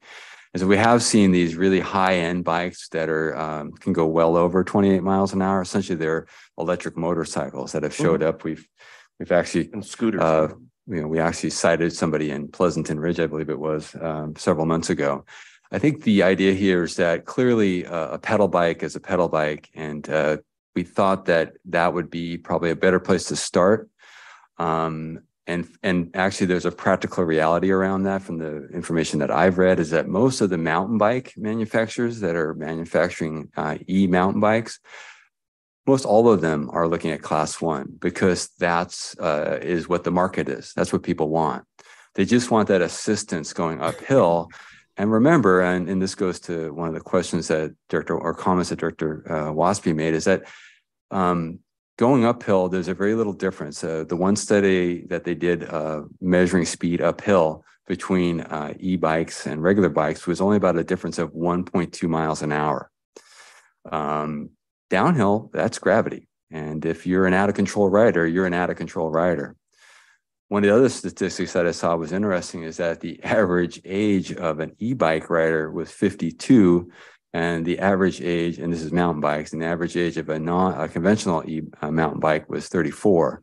so uh, some of that's an economic reason, and some of it goes to the uh, question or comment that you made about older riders extending their riding careers um, through the use of uh, e-bike technology. So that was the reasoning why we thought um, class one might be a, a, better way to start. It's a really easy distinction between somebody who's throttling and who's not. Uh, it's easier for enforcement purposes, uh, and it's probably and it matches what the uh, the market is in terms of what's out there and what people are using. Okay, but I, I'm just saying there is a reality. If I have a class two, and I'm in one of our parks, I should just keep pedaling. So Yeah, and so I don't get a ticket. yeah, and just Um, behaving generally that would be helpful. Yeah. Yes. Unless I'm going downhill. And fr- um, my observation on the Bay Trail is conventional bikes speed downhill because they want to build momentum as the trail flattens out or goes uphill. E-bikes don't have that motive. They just, It's they- just gravity. Also, e-bikes are, are very heavy, and uh, sometimes that slows people down because the you know they don't have the mobility uh, when they're riding downhill. So that also can be a factor. And so, you know, the access issue is one, you know, I, I view a little like the solar issue that we want to be a green agency, right? We want to promote uh, uh, green values. And that holds with solar until it's going to uh, disrupt habitat. Mm. So I look at this sort of the same way. I want to be, I want to promote the, the green value of e-bikes an e-bike will allow me to get to my from my house to the bay trail without putting the bike on the back of my car because the motor would allow me to do that it extends my range it takes that last mile issue in terms of commuting and transportation it really addresses that and we want to promote that concept um, i'm also a strong advocate as sean knows for getting that gap in the uh, bay trail between point wilson and point pinole uh, closed and that's a major project. But one of the justifications for which we can seek federal and state funding uh, for active transportation is that will allow people all along the San Pablo Bay shoreline to live in relatively modest, you know, comparison pri- priced housing. For instance, in Her- Hercules, the high density waterfront housing that's being built. And you'll be able to commute to thousands of jobs at Atlas Road. And we we are, we are actively seeking funding with that point uh, in mind. And I'm just thinking that if we continue to prohibit e-bikes on that trail, that's going to be hypocritical because we're trying to get funding for the trail and make the trail accessible to people who want to commute uh, to Atlas Road. And now you could, you know, with an e-bike, you can live all along that shoreline and commute to Atlas Road. So, you know, that's a concern I have. Anyway, I will um, like to see if there are people in the room that have request want to uh, address this. I know we have a couple of um, requests from, I think, Jim Hansen and Norman. Um, others that we're aware of? Yes, so we do have a couple on the Zoom that would like to speak, and I'll go in order from And- the request. Anyone in the room? No? Nobody from the room. All right. Well, I'll leave it to you, Monica. Okay, perfect. We'll start off with Jim Hansen, please.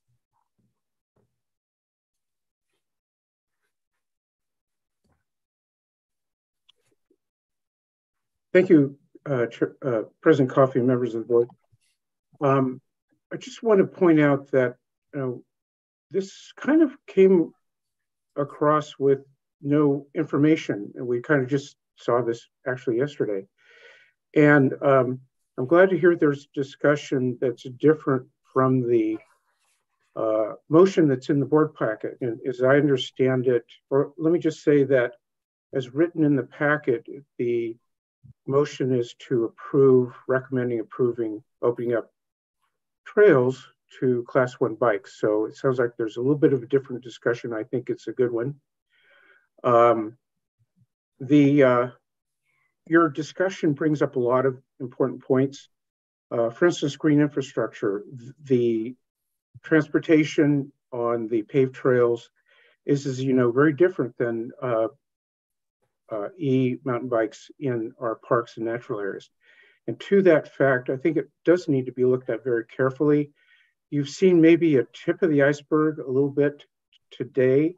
There's a lot of information on impacts to wildlife, both from mountain biking and hikers, except that as you know, as we've seen at Briones, there's now 30 miles of illegal trails going off the main fire roads that, that we're, we're all trying to figure out what to do, do about.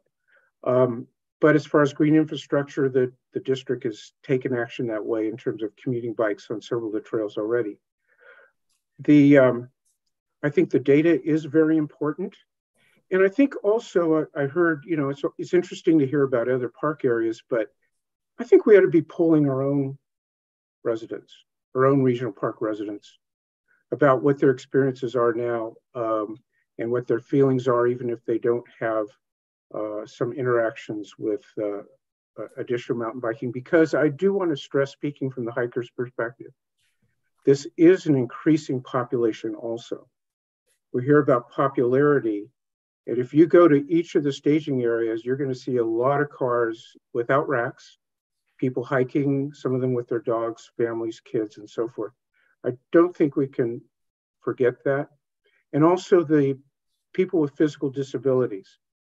Uh, I think that our equestrians, all of this needs to be included. And we have, as you know, asked for a public process, more transparency around the Briones pilot. And I think this fits in here. And actually, it kind of relates to the general idea of a, a trails plan because of all these pieces that are coming together without some overall guiding principles or even designs. And that's where a plan can come into use. So I'll just close by saying that uh, there's a lot more we need to know. Um, we need to have a conversation on this, including who the cohort, who the population is. I, I see different people when I go out to Briones or Pleasanton Ridge on uh, an e-bike. Um, and frankly, I don't know if it's one, two, or three, and I don't know if anybody can really tell. But anyway, thank you for the opportunity. It sounds like we would not be moving ahead with the motion as presented in the agenda packet that we, you know, read. And uh, thank you very much. Yeah, I didn't see an, a motion in, in It this. was a recommendation, sorry. It's a recommendation, yes. Which is a good way to, you know, launch an issue is I wanted to know in particular what management felt based on uh, our own experiences to date. And, you know, in terms of pilot projects, we have pilot projects going on as we speak because it's all of us who visit our parks are now observing uh, what's going on. Uh, and as part of the pilot project at Briones, we will be, you know, whether whether e-bikes are an express component of the pilot project or not, they are. They are a component of the bikes that are going to be subject to the pilot. Yeah, they're there. Uh, for even the day you and I hiked out there, five of the seven bikes that passed us were e-bikes. Exactly. So we will be studying this, whether we like it or not. Monica? Thank you. We'll go with Norman LaForce. Yeah, thank you very much. And I appreciate uh, President Coffey, your clarifying comments because when this was first reviewed by myself and others, we thought this was a recommendation that was going to go to the full board and pass without any kind of public process. And uh, I appreciate the clarification now to make that uh, clear as to what's happening next. Um, and I appreciate that too, because uh, going back four years, uh, this has been something I've been calling for uh, with the park district is to try to get a handle on on e-bikes and the issues related to e-bikes. Uh, I think any process needs to include stakeholder groups, as Jim Hansen has talked about, user groups, uh, people adjacent to the parks. You know, get a, a good cross section of of uh, of the populace and, and, and public opinion about this. Uh, that's going to be important. Uh, I do want to stress that I think there's going to be CEQA issues here, uh, since this is a discretionary action and could have implications for environmental uh, issues. Uh, and so that needs to be considered in any uh, discussion. Um, in terms of enforcement, I do think you need to look at enforcement. I don't think you can just say, well, we can't enforce it, so too bad. it's just going to happen. I guess as I was thinking about it, I was thinking, uh, I remember I went to Valparaiso, Chile some years ago, and and there they do not enforce any any action against anybody for graffiti. And the whole city is graffitied. It would be as if you went to Oakland and to the Park District headquarters and your entire building uh, was graffitied and all of Oakland's buildings were graffitied. It, it gets to be tiresome and worrisome at, at some. And you want to have some kind of enforcement. And I think you are going to need to deal with enforcement over time uh, in, a, in a, a, productive, constructive way. Um, and that leads to the issue about uh, e-bikes and access. Um, I think there's going to be a big issue that e-bikes are going to allow certain portion of bicycle riders who want a thrill experience to go into uphill areas that they would not normally go on or up uh, on a regular bike, and I'm talking about what's going to happen with Pleasanton Ridge and the adjacent properties there, so they can go downhill.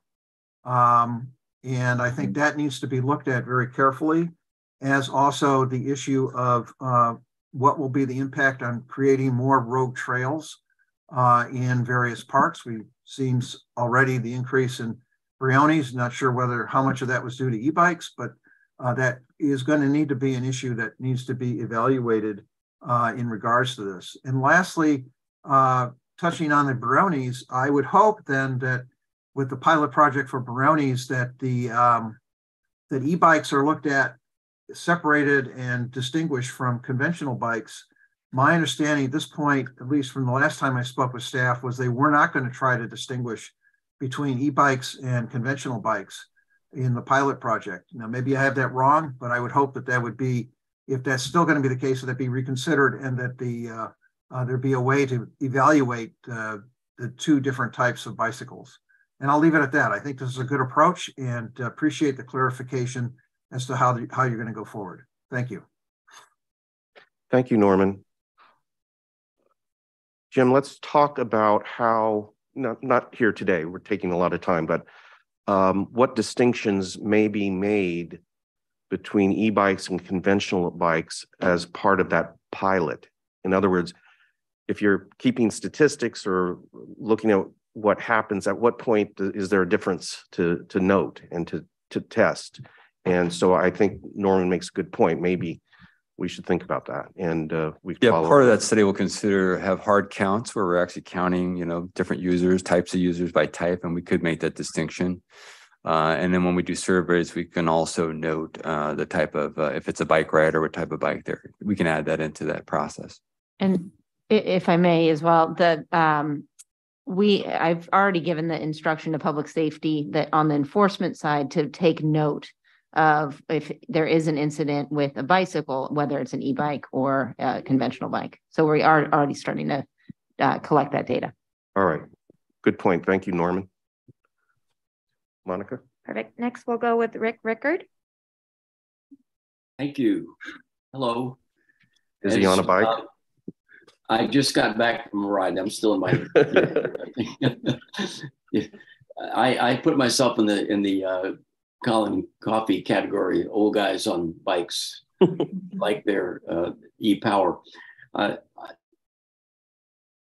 You just went mute, Rick. Uh-oh.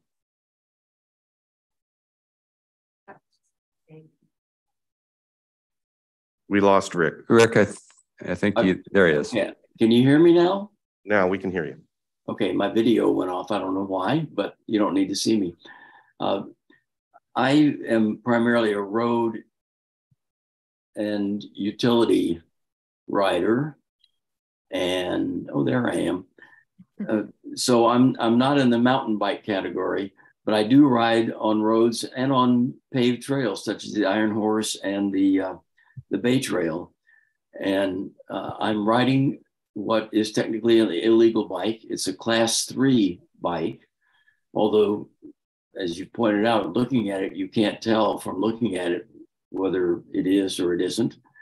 I bought it for other features, for weight and other features. I the, the extra eight miles per hour that I can get the pedal assist, uh, I rarely use. Uh, when I'm riding on the trails, I often ride with no battery assist because I can just cruise along at 15 miles per hour um, and enjoy it. As the as Chief Chaburo has been quoted as saying, he wants to enforce behavior, not equipment. And what what I see when I'm out riding is the people who pass me are the ones on class two bikes, not pedaling, using their throttle and rolling down the trail at 20 miles an hour. Uh, because I'm riding as I would a non electric bicycle and staying within the speed limits. But uh, those are the guys who are getting out ahead. So I, I just think you need to think about the class two bikes and think primarily about behavior uh, more than the classification of the equipment. Thank you. Thank you, Rick.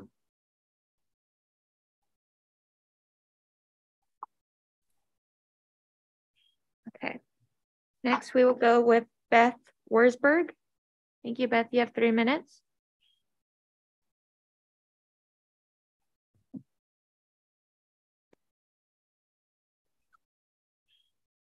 Beth?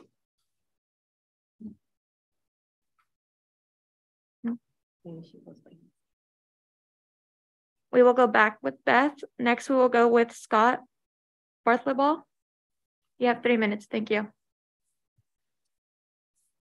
Scott Bartlebaugh, Advocacy Director of Bicycle Trails Council of the East Bay. Thank you for the opportunity to comment and thank you for uh, bringing this uh, to the Executive Committee for discussion. Um, I think this is great to see this starting to move forward. Um, I think as Tom Boss from um, Marin County Bicycle Coalition has, has said, the, the advantages far outweigh the, the downsides with, with e-bikes. Um, and there are some downsides. Um, it gets more people out in the parks. There, there's uh, more traffic then, potentially more congestion. Um, on the counter side, as people have brought up, this is going to get people into reaches of the parks that they wouldn't have been getting into. So it, it, it provides for some dispersion as well. Um, people aren't going to want to get stuck out miles away from a trailhead um, when their bike breaks down. If, if that happens to them, they're going to take action so that it doesn't occur again. Um, so I, I, don't think that's going to be a big problem. Um, there was questions about um, gathering more data on the experience. As uh, President Coffey said, the experiment's running right now. Um, if there were severe problems, um, there there would be reports of that. So I, I think by and large, that there aren't severe problems happening, or Chief Chaburo or the park supervisors would be reporting that. Um, not to say that there aren't impacts. Um, so I, I, think there is data there. Um, it, it's not hard data, it's anecdotal. Um, but if it was severe, it, it would be known. Um, technology continues to change. Bikes are becoming quieter. Um, I don't know how that affects the specific frequencies that affect specific um, species, but the technology does continue to change rapidly at this point. Um, I, I, strongly agree that it's primarily, predominantly an issue of behavior. Um, should we go out and lock up um, Rick Rickard? No, I don't think so. I, it, it's really, I think, more so an issue of changing our culture um, on getting along on the trails and respecting each other. Um, there are many ways to get out there, and uh, a lot of the means to do it get down to responsible use and consideration for fellow trail users, whether it's the Bay Trail or whether it's a narrow multi-use trail. Um, and I think effort and dollars are much better spent to, trying to change the trail culture rather than we don't want to share, we can't share. To it is possible to do this if we work at it. Um, slow and say hello is, is one tool there. Um, but my three minutes are used up, and I thank you for the opportunity and thank you for moving this discussion forward. Thank you, Scott. Thank you. We're gonna go ahead and let Beth Wurzbach try again. See if we can get her mic. Hi, can you hear me? Yes, go ahead, Beth. Hi. You have three minutes. Thank you. I'm a member of California Native Plant Society and I live in the East Bay. I love the East Bay Regional Park District parks. Um, I agree with board member Rosario. I think there's time to collect more data and especially to get input from our East Bay Park users. I don't think that it's a decision that be considered without public input, without open discussion of the impact on other trail users and on the trails and parks themselves. Sandra, I, I just realized because you made that comment, that wonderful comment about um, uh, um, meetings, uh, like the Zoom. Hello? Who was that? I don't know. Sorry, I'll continue. Um, yeah. We're sorry, that was something strange happening techni- tech through the technology. Okay, so again, I just, I think this should be not considered without public input, open discussion of the impacts. We know there are going to be impacts, so I think we should study them, figure out what can be mitigated and what can't, figure out where this might be an appropriate use and where it might not be, figure out how you'll budget and deal with fixing impacts. And that applies to bike users as well. And you know, do a CEQA review. Let's make an informed, thoughtful decision. Thank you. Thank you. Thank you, Beth. Next, we'll go with Kelly A. Kelly, you have three minutes. Thank you. Okay, thank you. Um, yeah, I, I'd like to um, repeat, go back to what Mr. Barbaugh said about changing the culture. And I think uh, the, the biggest uh, aspect of culture that this is telling us about kind of the, uh, the, the uh, Heisenberg uh, principle of culture. It's not the culture that's going out there in, in the trails or on the, on the, on the mountains. Uh, it's the culture that's going on in our legal system, our culture of control, of uh, detailed pre prescription and proscription of uh, people's behavior and actions and and uh, limits of on their on their uh, freedom. Um, so we're hearing a lot today about uh, the data. You know, there's a lot of complacency today, assumptions that all, we, we have more data coming, more and more data coming in. Well, every day that somebody doesn't die and doesn't get killed or injured uh, on with, with these bikes, um, that is another day of data. But what's not the data that's not happening, the data that's not being measured, um, it's kind of a, a, a, a feckless and and and uh, and and sloppy data collection system. Is uh, once upon a time, a couple of years ago, somebody went out and counted the e-bikes. Uh, there is no ongoing monitoring of the presence of e-bikes as a proportion of total bike use in terms of uh, going out and measuring it uh, on an ongoing basis, tracking it, collating it, analyzing it. That's not happening. We kind of uh, assuming it's happening, everyone pretends like it's happening. It's not happening. There's no formal program to collect or analyze this kind of data. Uh, we all just assume it's growing, and uh, that's that. But uh, but and then uh, the board and the public are also complacent in, in assuming that there is a legal and regulatory framework that is stable for the regulation of e-bike use. That's the whole basis for the discussion today.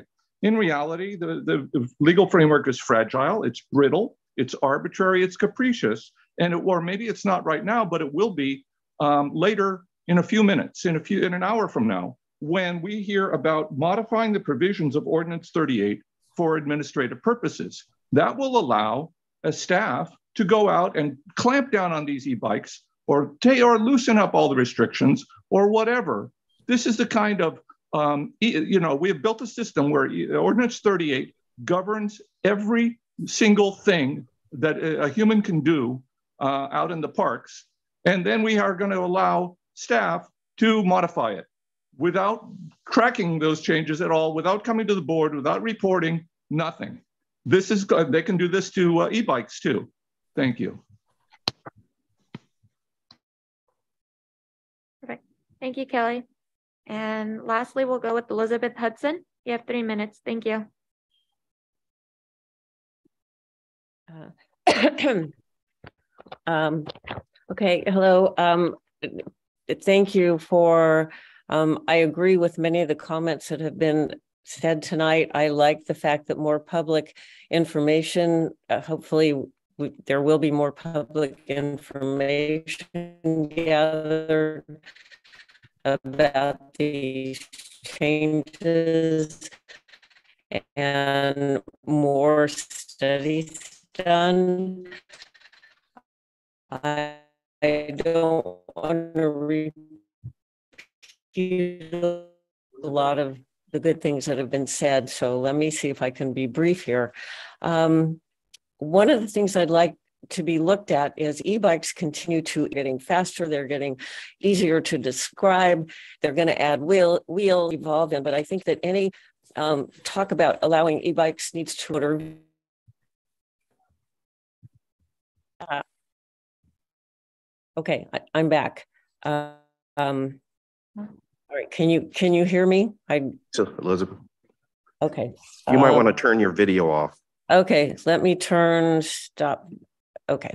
All right. So I think we need to keep in mind that today's e-bike is not the same as next year's e-bike. Um, when e-bikes appeared and it and it became known that you would not get a ticket for the e-bike, so it, essentially the users were free to use them um, it has emboldened other motorized vehicles to show up on the trails. Like uh, I've seen a BMX bike, I've seen a motorized skateboard, and I've seen things that I wasn't even sure what they were, but they had motors. And I think that gets back to enforcement again. If it's known the district doesn't have adequate resources, that encourages expansion of of other uses. Um, uh, and the problem with that is it increases the user conflicts. And when you stop, when you allow activities that increase user conflict, um, what happens, and I am an equestrian, so one of the things that is happening to equestrians is we are being scared off the trails. We don't feel like it's safe. And there's even a frustration with reporting things to the park district. Equestrians would call things in, they would send emails, there was a database they could contribute to, but there was never a response from the park district. There was never a change in behavior. Nothing ever happened. And so a number of the equestrians are a bit cynical about reporting things to the park district again. I would like that to change. I would like to make the park district feel like the equestrians are being heard. Um, okay, one of the observations about e-bikes was regarding bat nests, and I would like to remind people that there have already been e-bikes on the trail. So if the bat has moved 200 feet away, the bat may have already moved because of the e-bikes. It's not you know you ha- you have to look at what's really happening in the park district you can't just say the bat nest is away is 200 feet away and so the e-bikes didn't have any, any impact um, i think one of the important messages can i say one more preservation of the opportunity for tranquil um, nature and study is a really important um, mission of the park district please keep that in mind that's why a lot of us are there and am I out of time? Yes. Yeah. Okay, um. Uh, can I say one more thing to? Sure. Look, if behavior over batteries is the issue, and we want to get people into the parks to enjoy the parks, and I agree with both of those, but we need to think about if those are the two criteria, then when the E van that is perfectly quiet and can take 20 people down the fire road into the park for your, I don't know what, your picnic, your birthday party, or whatever. I mean, what I think we need to look down the road. It's not just e bikes, it's like, what is this opening it up to? So, thank you for your consideration. And I'm delighted to, to think that there'll be more discussion and opportunity for public input. Thank you. Thank you, Elizabeth. And if you or your colleagues ever feel you're not getting a response, contact your member of the board of directors. Thank you. Okay. Jim? Oh, we do have one more Oh, request uh, for JS iPhone. You have three minutes.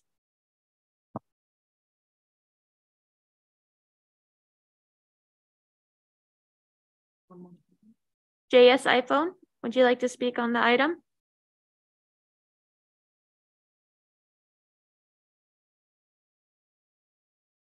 Right, hearing nothing, go ahead, Jim. Want Um, to close out? Sure. Uh, couple of things that were said is is one is um, the world is changing. Um, it's more crowded out there. Uh, you've heard me talk about this before.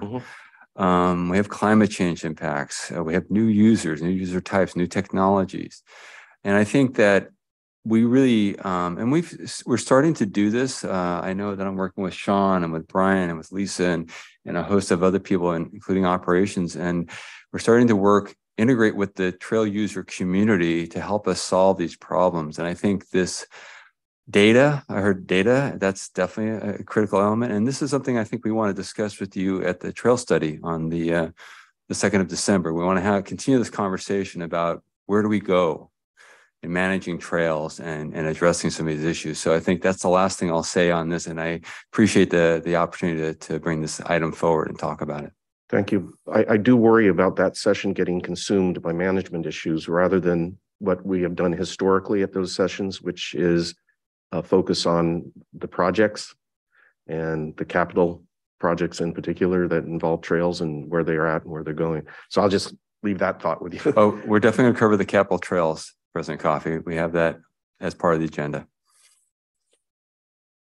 Thank you. We're going to move on to the next agenda item, which is ordinance thirty-eight, item four, GM authority to amend, modify the ordinance thirty-eight provisions for administrative purposes. Okay, excuse me, I've got to find my other item here.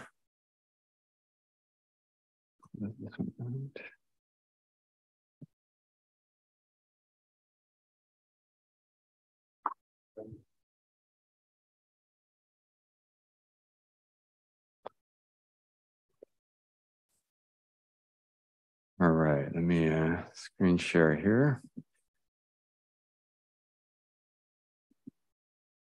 Okay. Oops, that is. All right. Okay, once again, Jim O'Connor, Deputy General Manager, uh, presenting this next item in front of you. Um, this item is directly related to um, the Briones Trail uh, pilot study, which I think most of you have, are familiar with. Um, we need some uh, the ability to do some ordinance 38 changes on a temporary basis for that pilot.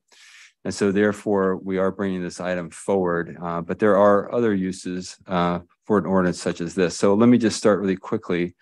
Where are we at currently? The current ordinance 38 uh, section 200.3 gives the general manager to uh, make temporary uh, suspend or modify provisions of the ordinance for public health and safety reasons uh, the general manager then notifies the board within 30 days. And we have, uh, you know, utilized this, uh, you know, when we have things like uh, slides uh, or fires or things like that, we, we often use this section to temporarily close or modify uh, the use of parks. So this is pretty common um, usage in the district now.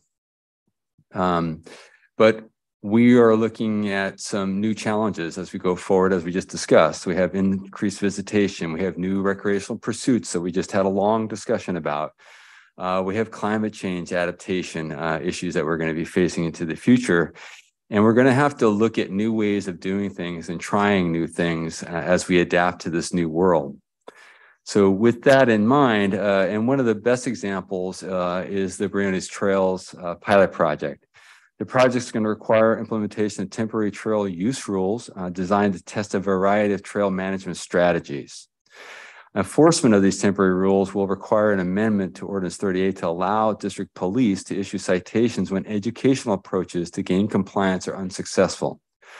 So if the pilot project essentially simply, if, the pilot project is going to have any teeth in terms of, of people complying with it, uh, so that we can test out these strategies, that we have to have an ordinance behind that. Obviously, we'll always take that educational approach. It's pretty common for our police department to do that. Uh, but we do need in those cases where we do have to go beyond education, we have to have uh, an ordinance that they can enforce. So um, we had, I had extended discussions with legal about what was the approach to this. You know, we would have to modify potentially several sections of Ordinance 38. Um, but what we are proposing, uh, which would obviously have many applications into the future, is to have a more general uh, GM authority ordinance. So I'll just quickly read through this if people haven't had a chance to look at it. The general manager or the designee is authorized to issue rules and regulations to take other such actions as are necessary to preserve parklands, public health, safety, protect sensitive habitat, threatened or endangered species, and distribute parkland resources and facilities among competing uses, including but not limited to the permitting prohibit or prohibition of certain activities, uh, or restriction of them uh, at certain times to, and or locations. And of course, failure, and then it has the, um, the punitive section, which is failure to obey any directive issued by the general manager or designees pursuant to section would be a violation of this ordinance.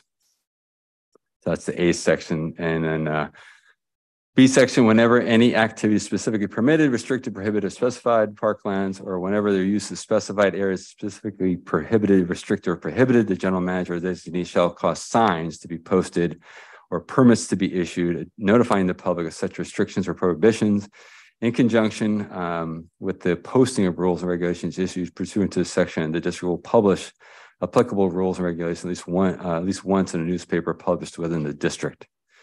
So the intent here is uh, obviously the, the driver here is the more immediate need for the Briones pilot project. But uh, an ordinance section such as this is pretty common in other agencies. Santa Clara County has one. I think uh, the other one I, I listed was uh, Sonoma County. So this is uh, allows the uh, general manager to make these um, decisions to adjust as we need as things go forward, whether they be climate related uh, resource protection issues uh, or, or, general trail use issues such as the Briones pilot project. So I'm going to keep that short since we've we had a long issue last time. So we're open to any questions uh, the committee may have. And we've got obviously uh, district counsel uh, available to answer any questions from the legal perspective. Yeah, I'll have a couple of questions, but I'll ask Director Waespi. Take this down comments or questions? I, I, think not at this point. I think this is probably a good thing. I think it, um, I don't suspect there's any um, abuse that would occur, especially with 30 days notice to the board of an action. If, if for, for some reason the action, um, so what's that? You just tell the board and then the board, I assume with their, um, the authority that's the inline authority that they would say, uh, I reject this proposal or four of the board members reject the proposal, then it wouldn't happen, right?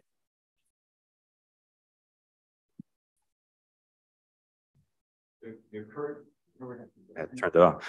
The Director Waespi answered your question. The current uh, proposed ordinance does not have the 30 day notice uh, prohibition like the 200.3 does. Okay, great. Thank you. But this this new ordinance will, or this new amendment uh, will have a 30 day notice. It does not as written. Oh, where did I where did I dream that one up? That was the uh, I had read I had read to you the prior existing ordinance 200.3, which has the 30 day board notification language. Okay, so what would the reasoning behind uh, eliminating that type of uh, notice? Um, it wasn't uh, in the original drafting, um, but obviously we could add something like that into the ordinance if the committee is recommending that. You are repealing the old language. No, we're not. This is actually an additional section. This is two hundred point five. So is the thirty day notice going to be in connection with other actions, not this one? Well, right now, under two hundred point three, the existing public um, health and safety ordinance, that does have a thirty day notification of the board by the general manager. Um, if the committee is suggesting that, that could be added to the new section that we're proposing. Okay. Okay, it sounds like Director Waespi is asking for that. It, it certainly does, yes. I would surely like some notification simply because, you know, I'm, I've looked at some past history that I don't want to talk about, but uh, Thank you. we're the ones that are going to face the, uh, the scrutiny or the, the uh, turmoil if, if something, uh, well, Stanford Avenue staging area is all I need to say. Uh, Director Rosario. Yeah, oh, sorry. This button. Thank you. Yeah, uh, I'm in agreement with uh, Director Waespi. Um, and uh, and if we uh, when we bring this bring this forward to the board, I'd like to see this not in consent, so that we can have a, a uh, so the other board members can have a, a discussion. Because um, I think there might be some uh, anxiety about uh, usurping um, uh, board authority, so or, eroding our um, our ability to uh, to have a say. So, um, but yeah, I, I, think I could support this, especially with the 30 day notice. Thank you. Thank you, Director. I know there's some uh, public comment out there on this one. So if folks want to raise their hands, uh, we'll take public comment in a moment. My question is I don't is is arises from I don't see in this new language a time limitation.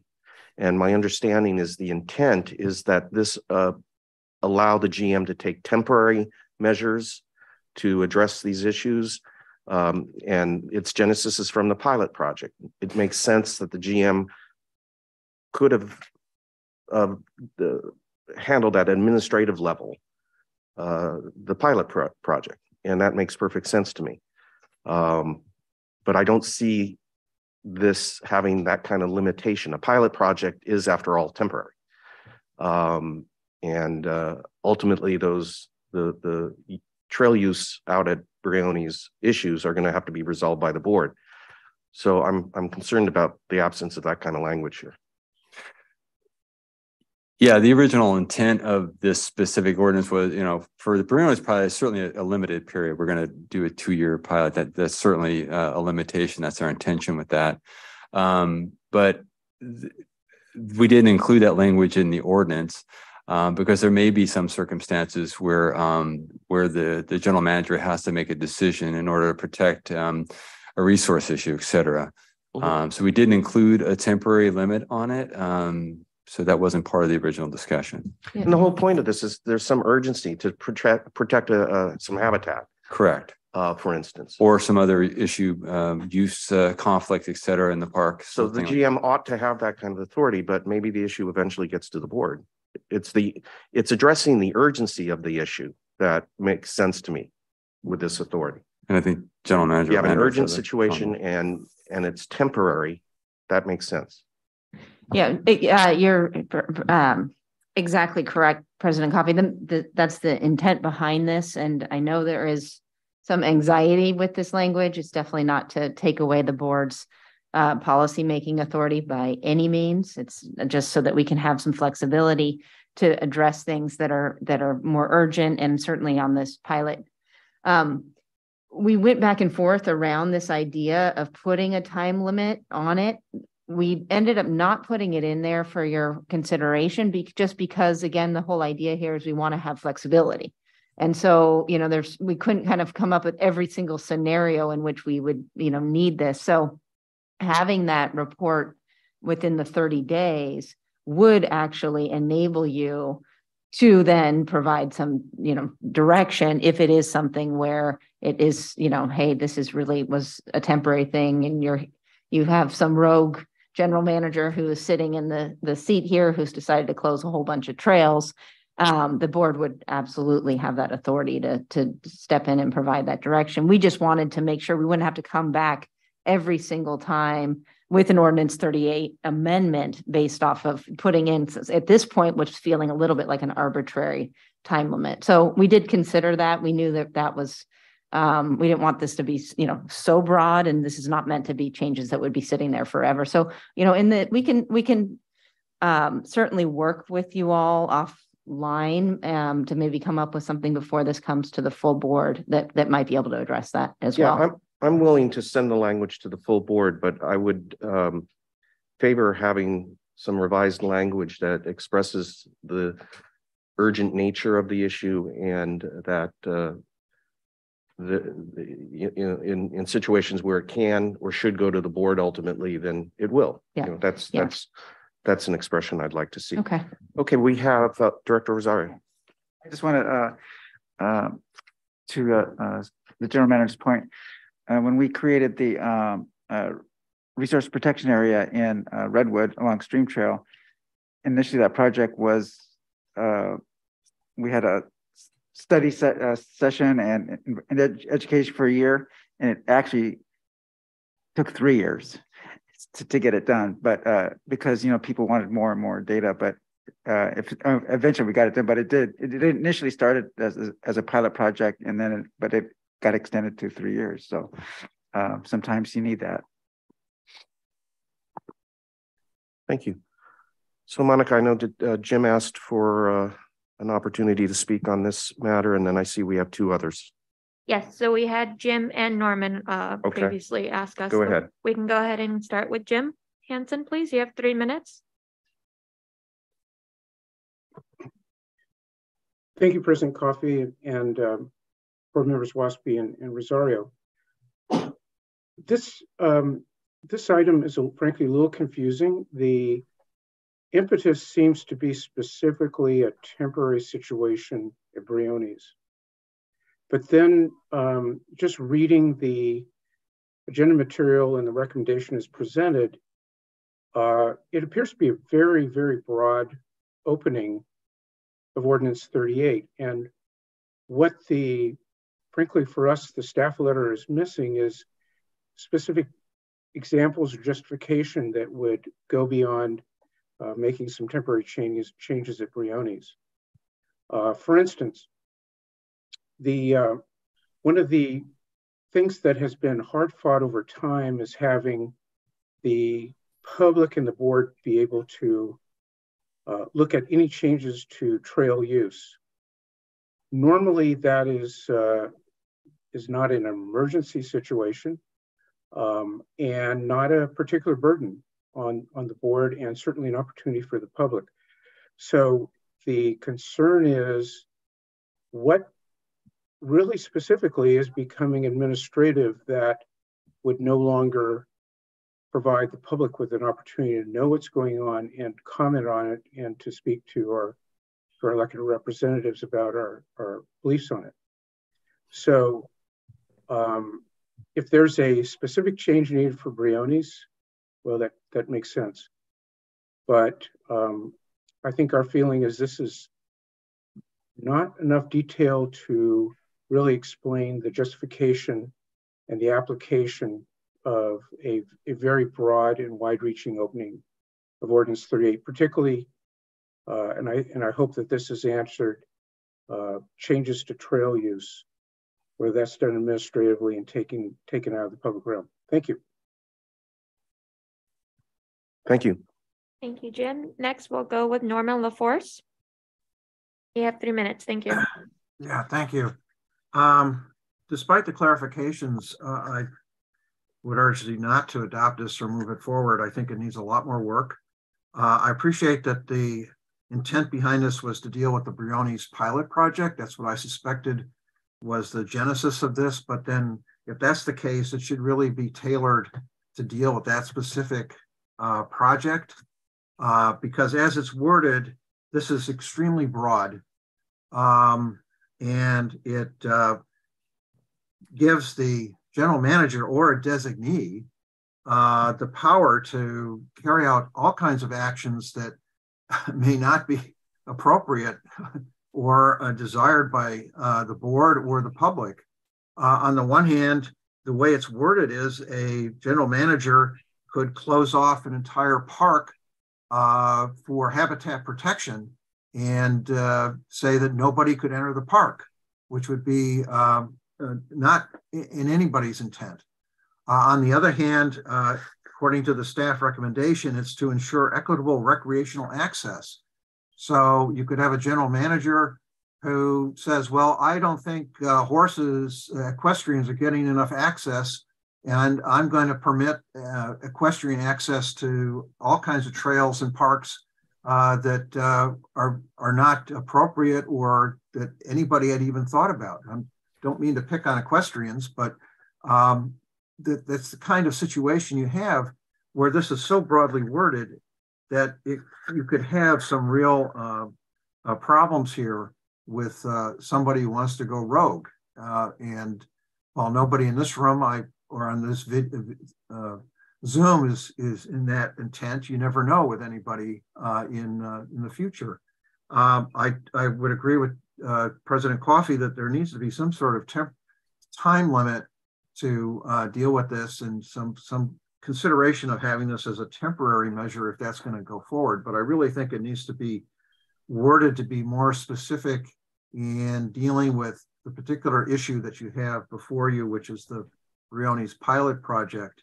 Uh, otherwise, this is uh, just so broadly worded that it could it could mean anything to to a future general manager. And as it's worded here, and as I understand the ordinance 38, it there doesn't seem to be any way to challenge uh, the decision by the uh, by the general manager, either by the public or uh, by the board itself. So I think this needs a, a certain amount of work to make it workable. Um, and I'll leave it at that. Thank you.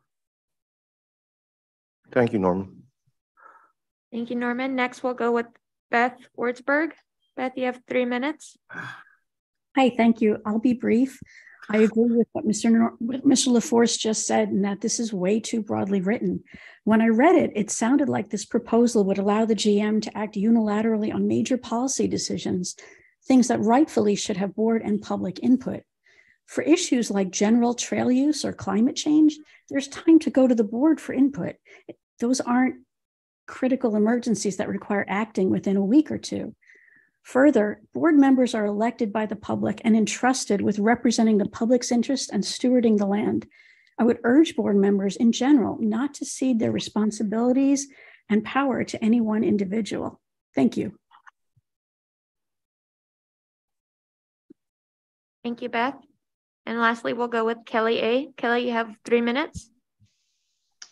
Thank you. Um, yeah, you know, the reason I'm so sensitive to this is not just because I've, I've learned how to uh, pick through legal documents like a, like a lawyer, even though I'm not a lawyer, uh, but uh, it's because of uh, the experience we had just a couple of years ago here when the city of Fremont, the, the, uh, the city manager, his name was Mark Dene, and uh, the police chief sent letters to the park district uh, declaring a public health emergency or taking advantage of a public health emergency and ordering you to close a park.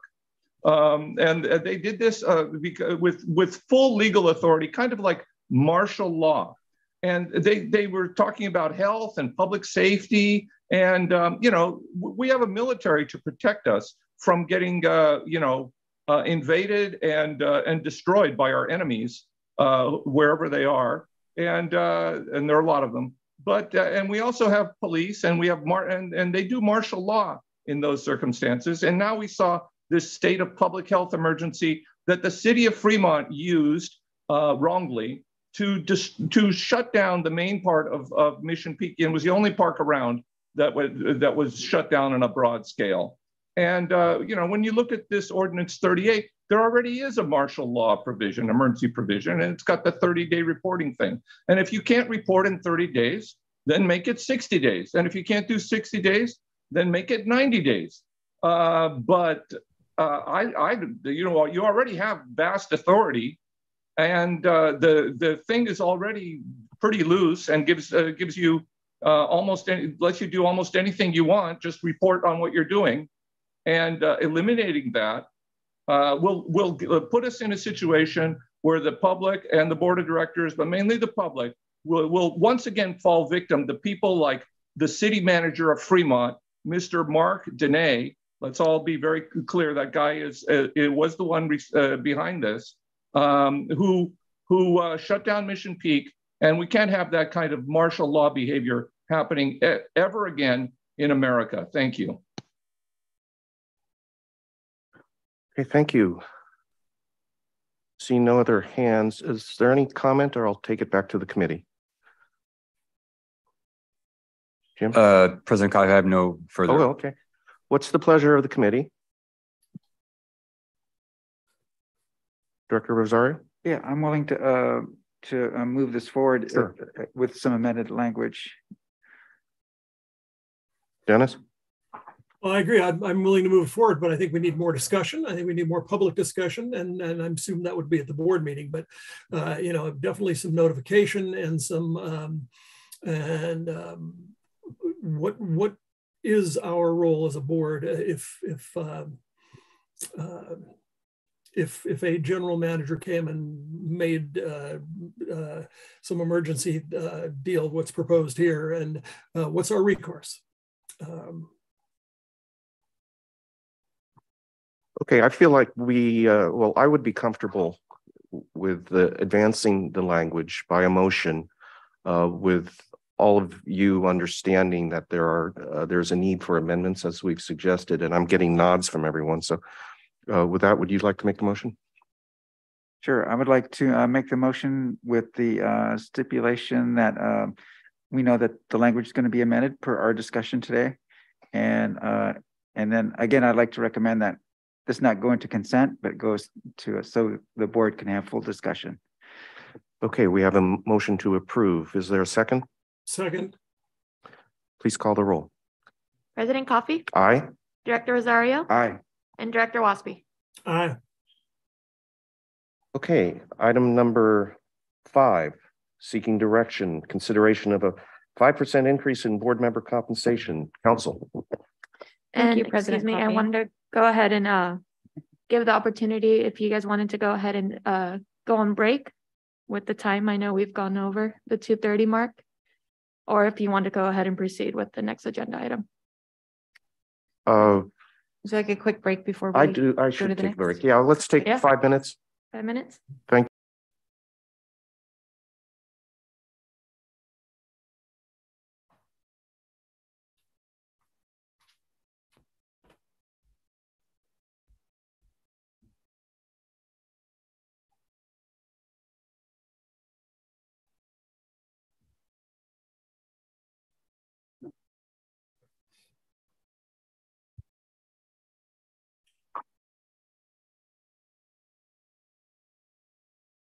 And the meeting is live.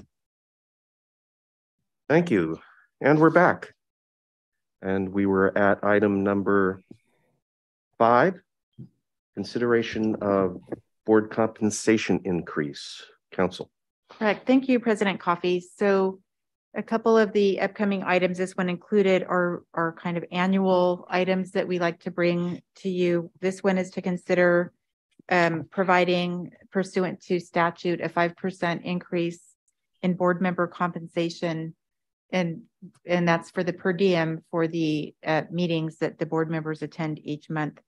Currently, um, directors receive $115.50 for each compensable meeting, up to a maximum of 10 meetings per month. Uh, and 5% increase in that would result in a total compensation per day of 121.27 or 27 cents per meeting. Um, this is not something that we're asking this committee to take action on. However, in order to bring this to the full board for a vote, what we would need to do is publish a notice in, in the newspaper for two consecutive weeks and then have a public hearing at which the full board will vote on this item. So this is your opportunity, however, to discuss or to ask questions or anything that you would choose. I noticed the recommendation is, gives us an option to defer it to 20, uh, 2023. What, what's the distinction between doing this now or deferring it? So if, if the committee or the full board decide they don't want to um, approve an increase, then you can bank the five percent until the next time that it's considered. You can consider it annually. So next, the next time you could consider it would be next year. And it would be for a ten percent increase, or you could say, we don't want a ten percent increase, you want a five percent increase. You just can't go above the threshold of five percent each year. If we defer it, would it then go to November of next year? Yes. Uh, So we can't defer it to January or February? Well, you might be able to if you haven't given yourself, if you haven't taken any action, then there isn't anything that says you have to do it a particular month, but you can only do it once a year. Okay, and why don't you handle the next item as well, since it's related? Um, sure. You don't want to um, just close this item out and take public comment? Well, You is, wanna do is both of item them? six dependent on what we do with item five? No, Oh, it isn't. Okay. I thought it was. So um, to the committee, any comments or questions on uh, item five and the uh, question of whether to initiate the process that takes the issue to the board now or wait another year? Director Waespi. Well, I'm, I, I would like to address this issue now. And, um, you know, I, I think that this is kind of a trivial deal. I mean, we don't, obviously, we do this preamble all the time. We don't do it for the money.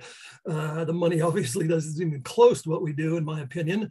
Um, but I think it is symbolic. And I, I always say, and, you know, I, as I, I get old and crotchety and whatever I get, but I, I embrace some, and I don't know what anybody else considers a moral deal, but I think that we always should take what our rank and file employees get. Uh, it's a tradition, the rank and file, you know, it's as Dee will probably attest to, we work like dogs, fight like crazy for contracts, and we get whatever we get. And then management gets it automatically and takes that same amount. I think we should do the same. And it's 3%. Um, is, it's my understanding that on April 1st, the um, AFSCME locals will get 3%. I'm not sure what the Police Officers Association will get, but uh, you know, it's just, I think we should take, because we deserve a raise, um, uh, just to keep up with the cost of living, but um, whatever the uh, AFSCME gets or, or rank and file people get. I agree with you 100%, with the exception that we no longer just automatically give the same raise to management. We're now asking for comparable compensation uh, data to make sure what we give management is uh, justified. We, we started doing that a few years ago. Uh, Director Rosario? I'm happy either way. Um, Yeah, I'm comfortable advancing it now and giving the issue to the full board. Uh, I've, you know, from the inception of this new statutory scheme for compensation, I've uh, advocated, as Dennis does, for uh, limiting increases to what our workforce has received in the comparable period. FYI. So um, before we make a, motion on the recommendation, uh, public comment. Yes, we have one hand raised on the chat. We have Kelly A. Kelly you have three minutes. Thank you. Yeah, um, when people are talking about giving the same uh, uh, same thing to uh, to the staff, um, it's not the same thing. You're giving the the uh, the same rate of increase. Okay, so if, if they get an increase of two percent, then you get an increase two percent, whatever. Um, and what's the, and everybody thinks five percent is a nice round number nowadays, but inflation nowadays I think is actually a little bit higher than five percent now. So uh, you know the numbers that used to sound healthy, now don't don't sound very healthy. Uh, and for those of your staff who who quit your your uh, quit your workforce and came to work for the city of Fremont, some of them are actually getting a five percent increase, and that's five percent on top of a very very very healthy uh, total compensation package, which is probably above the industry standards in uh, in terms of public safety personnel, uh, probably far above the the industry standards.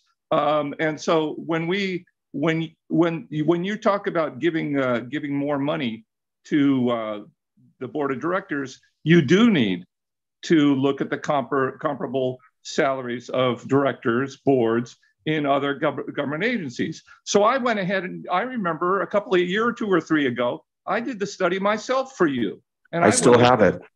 Yeah, I looked at five or six or seven of them, and I found that you were at the bottom. And you were you in order to get up like into the middle range, you needed to the what double or triple your your your compensation packages. Uh, uh you were you know a typical compensation I thought at that time was like 25,000, 20,000 a year, and you were getting like 7,000 a year or something. Uh, it's it's ridiculous how little you pay, and it's not because some of your people don't need the money, but the ones who do need the money are not going to run for run for the, run for this job because they can't afford to work for free. Thanks.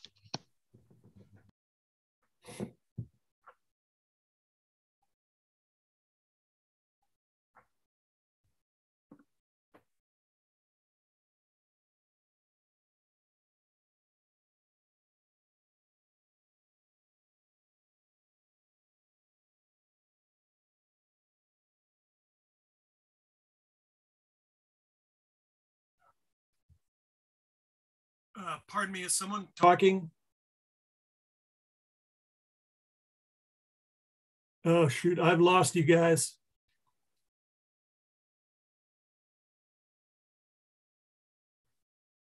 Huh.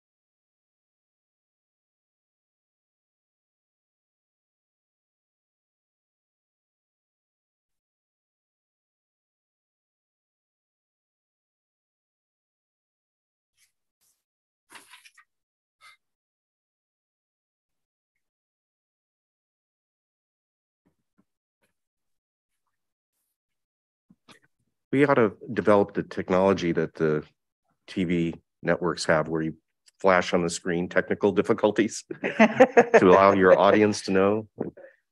The little constructions. I haven't seen that in a long time, but I remember years ago on watching TV and then we are experiencing technical difficulties.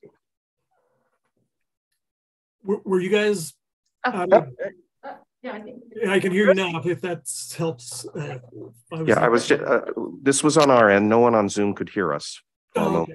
there. And I'm wondering whether we can get some something to flash on the screen. We are experiencing technical difficulties. so you folks would know it's not on your end, it was on our end.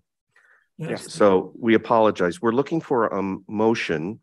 Yeah, and my to, to uh, advance the uh, the uh, compensation issue. Yes. Yeah, and if I can make a suggestion, um, I think that all uh, all that that we need to advance this is actually direction to um, publish the notice. Uh, the increase is anywhere up to five percent, and so you don't have to. You know, staff is not making a recommendation on what kind of an increase you might want to provide.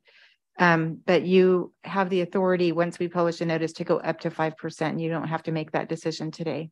Okay. And the five percent limitation is state law. Yeah, yeah. So we Okay. couldn't, we couldn't give ourselves a ten percent raise unless we put it off another year. Great. So I'll make the motion that we proceed. So this is direction to go ahead and publish. Yes. Yes. And Dennis, would you second that? Second, yes. It's been moved and seconded. Please call the roll. Perfect. President Coffey, Aye. Director Rosario, Aye. Director Waespi. Aye.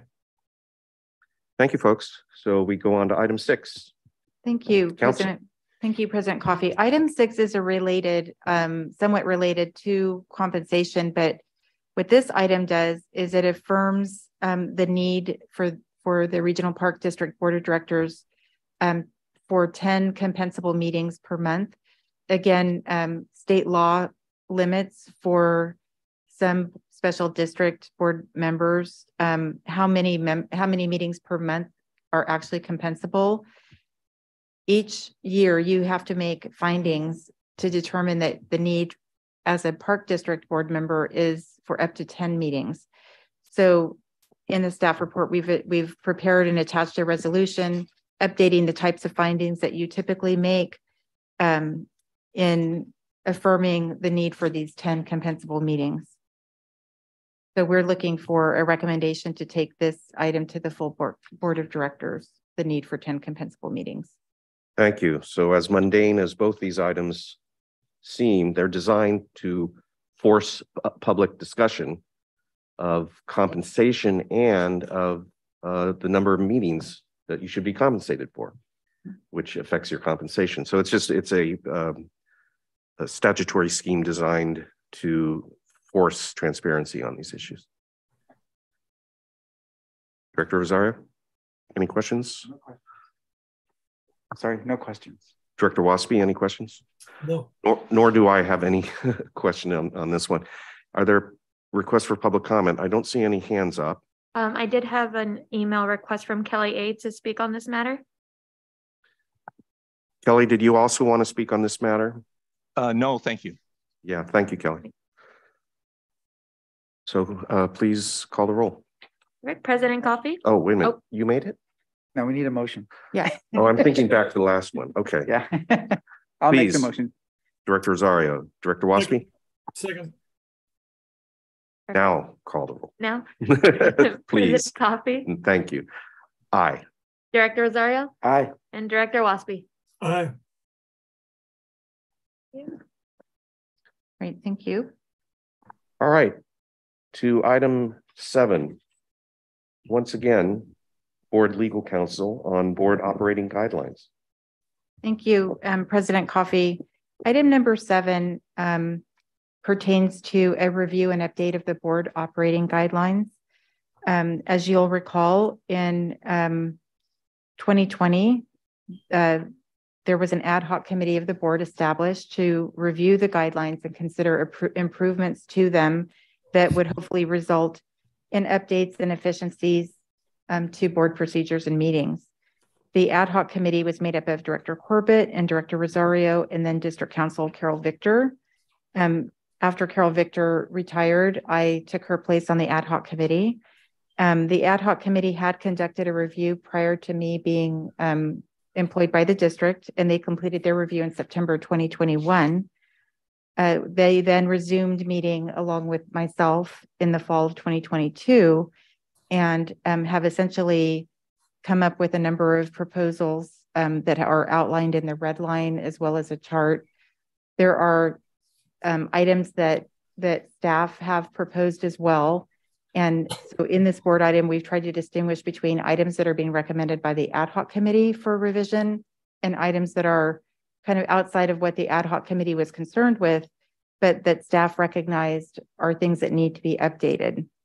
Um, I do want to point out, um, it's very important to note that th- with this particular revision, we are not claiming or proclaiming that the board um, operating guidelines are now, you know, completely updated because there's a number of, of areas in which um, they need to be reviewed and further updated.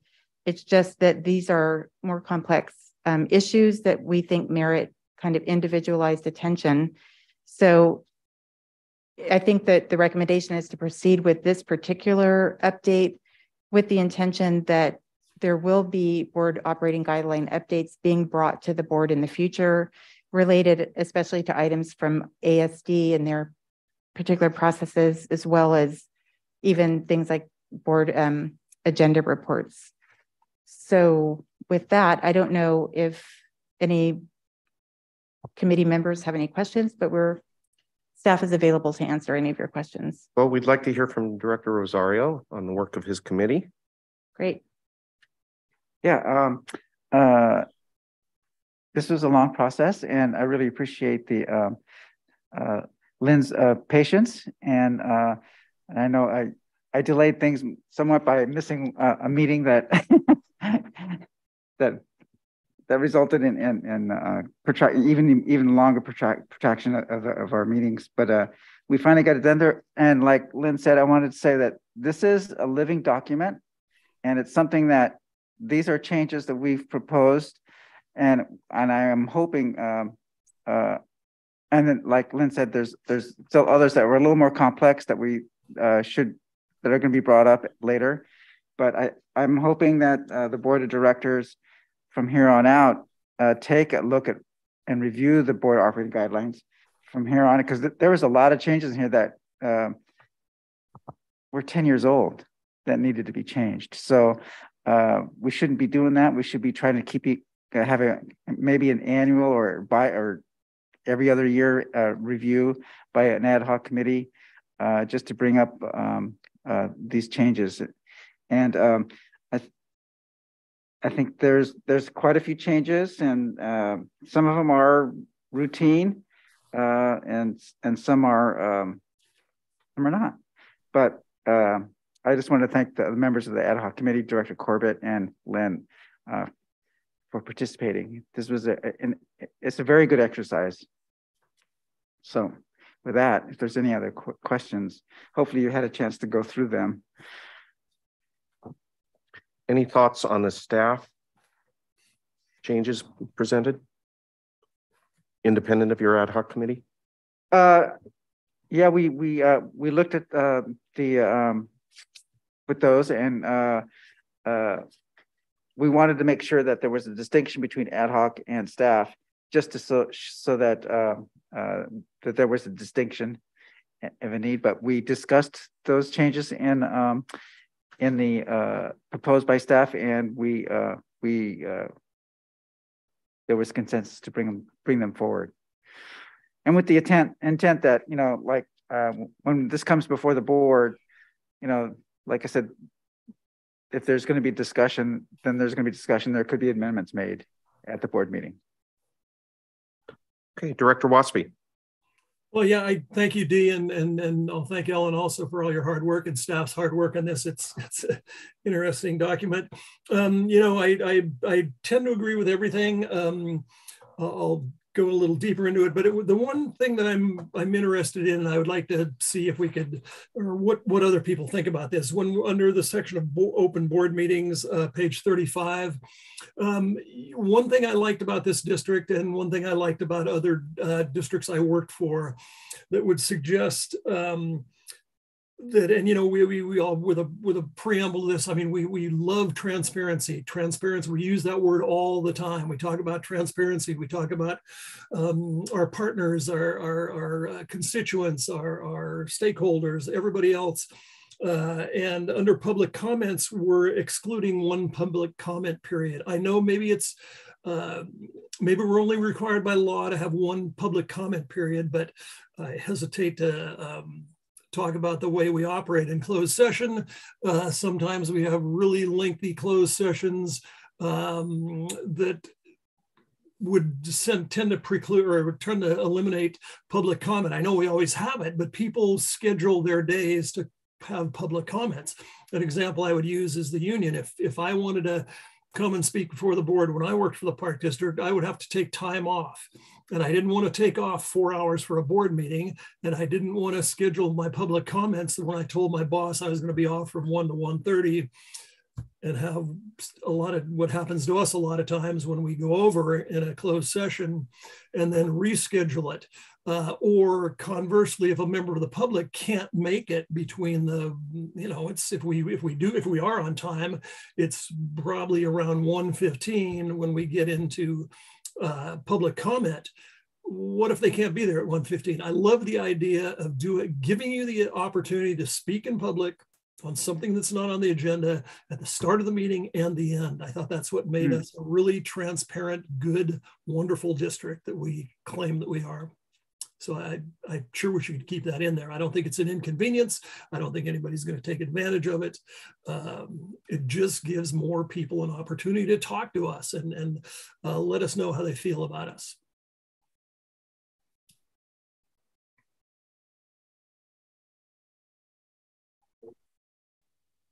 Where in the changes uh, is is that provision? He's referring to page 35 um, and under open board meetings, under public comments, there were some changes made to basically conform the board operating guidelines to current practice. Currently, at least as long as I've been here, we have not been providing a second comment period for items not on the agenda. And if I oh, may, I, okay, I see it. Yeah, we haven't been doing that, Dennis. Well, I think we didn't. We used to do that. Uh, I mean, I, I, it vanished along with the. And the, I think it vanished, but I, I think we were doing that. I could, I've been a member of a couple boards. Well, but, but, so some some of that might be my fault. I I do recall suggesting that since public, there are public opportunities to speak on every agenda item including on items not on the agenda at the beginning of the meeting, that there wasn't a need for a closing public comment period on items not on the agenda. And I, am not aware of other agencies that do that. Mm, I, I, um, well, I, I, won't debate it here, but I, no, I'm, all I'm suggesting is, I mean, we're eliminating this um, because currently it says the current writing is that there are two. Yeah, I, I, in the past we did that. Yeah. So, um, you know, I would argue the point where uh, if uh, I doubt that anybody's going to speak, say the same thing twice and, and take up a bunch of time. I think just thinking we're giving people the opportunity that if they can't be there at 115, could be there at 415 or 315 or whenever we close. I mean, it's just one more opportunity and one more piece of openness that I would I would push for. I would consider that a, a friendly amendment. You see, I'm concerned. I think people would take it as an opportunity to get six minutes instead of three. So, you know, that, that's, that's where I, I just differ. And, you know, the, especially if it's a real lengthy uh, meeting and there's issues that consume us from the public. So I don't know, we can. We, how about we note that and then we bring it to the full board for discussion? Yeah, well, let's have this discussion at the full board. Yeah.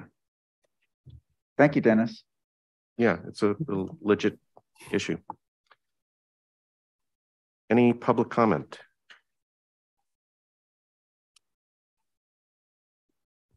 Uh, Kelly actually emailed about this item, so I wanted to give him the chance to speak on this if he'd still want to.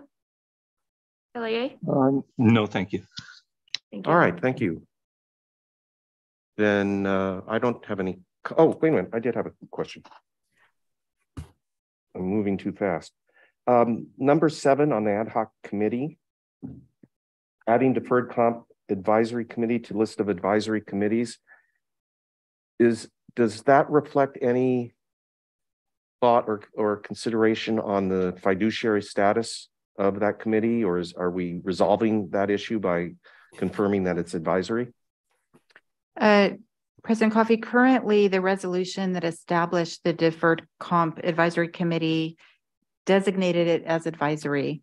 So um, there is there is still discussion occurring at the Deferred Compensation Committee level. I believe they brought up this topic at their last um, meeting about the fiduciary, um, where the fiduciary responsibility should lie.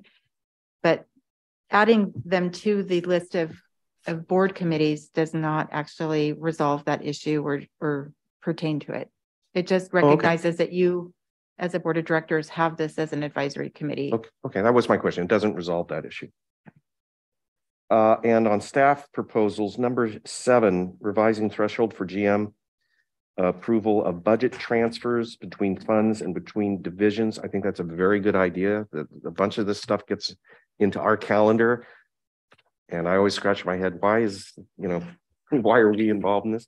So that that's fixing that.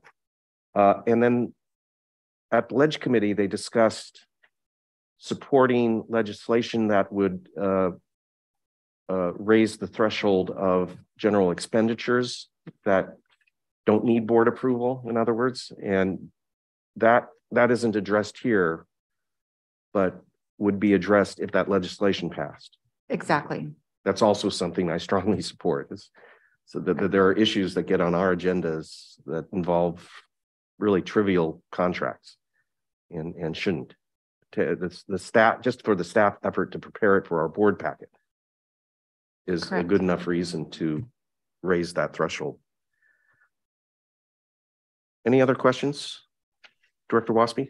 Colin, one, one more uh, point of clarification. On page 52, uh, compensation of board members, um, what is that? Uh, 9-A-1. Um, can somebody define per diem for me? Counsel? Sure. I, per diem is, is the flat rate of pay that you can get. It just means by per day is what it essentially is Latin for. So that's the flat rate of pay for board members per day. Okay, so yeah, that's what I thought. And So but, if you, if you were to attend three meetings in one day, you still only get paid uh, the per diem. okay, great. Because um, as I read it without knowing that, um, we scratched out the maximum allowable conversation paid per meeting in any one day shall be. So that was just based on, I should have known what per diem meant, right? Or everyone else should too. Yeah, I think the recommendation here is really just to um, take out uh, the actual numbers, which change annually potentially, and make it so that it doesn't have to be Okay. updated each year. Excellent, thank you. Sorry. Okay, that makes sense. And we don't have any public comment. So can we move to a motion? Sure, I just want to make one, um, uh, any questions about the board rotation of officers?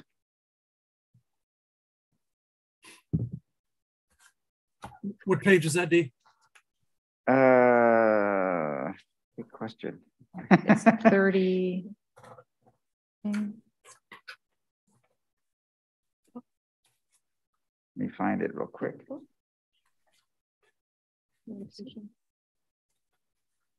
On page twelve?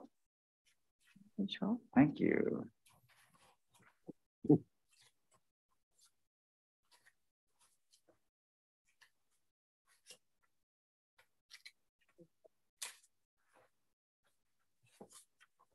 Yeah, page twelve, let's see. Uh, Oh, no, that's, um. Where is that rotation?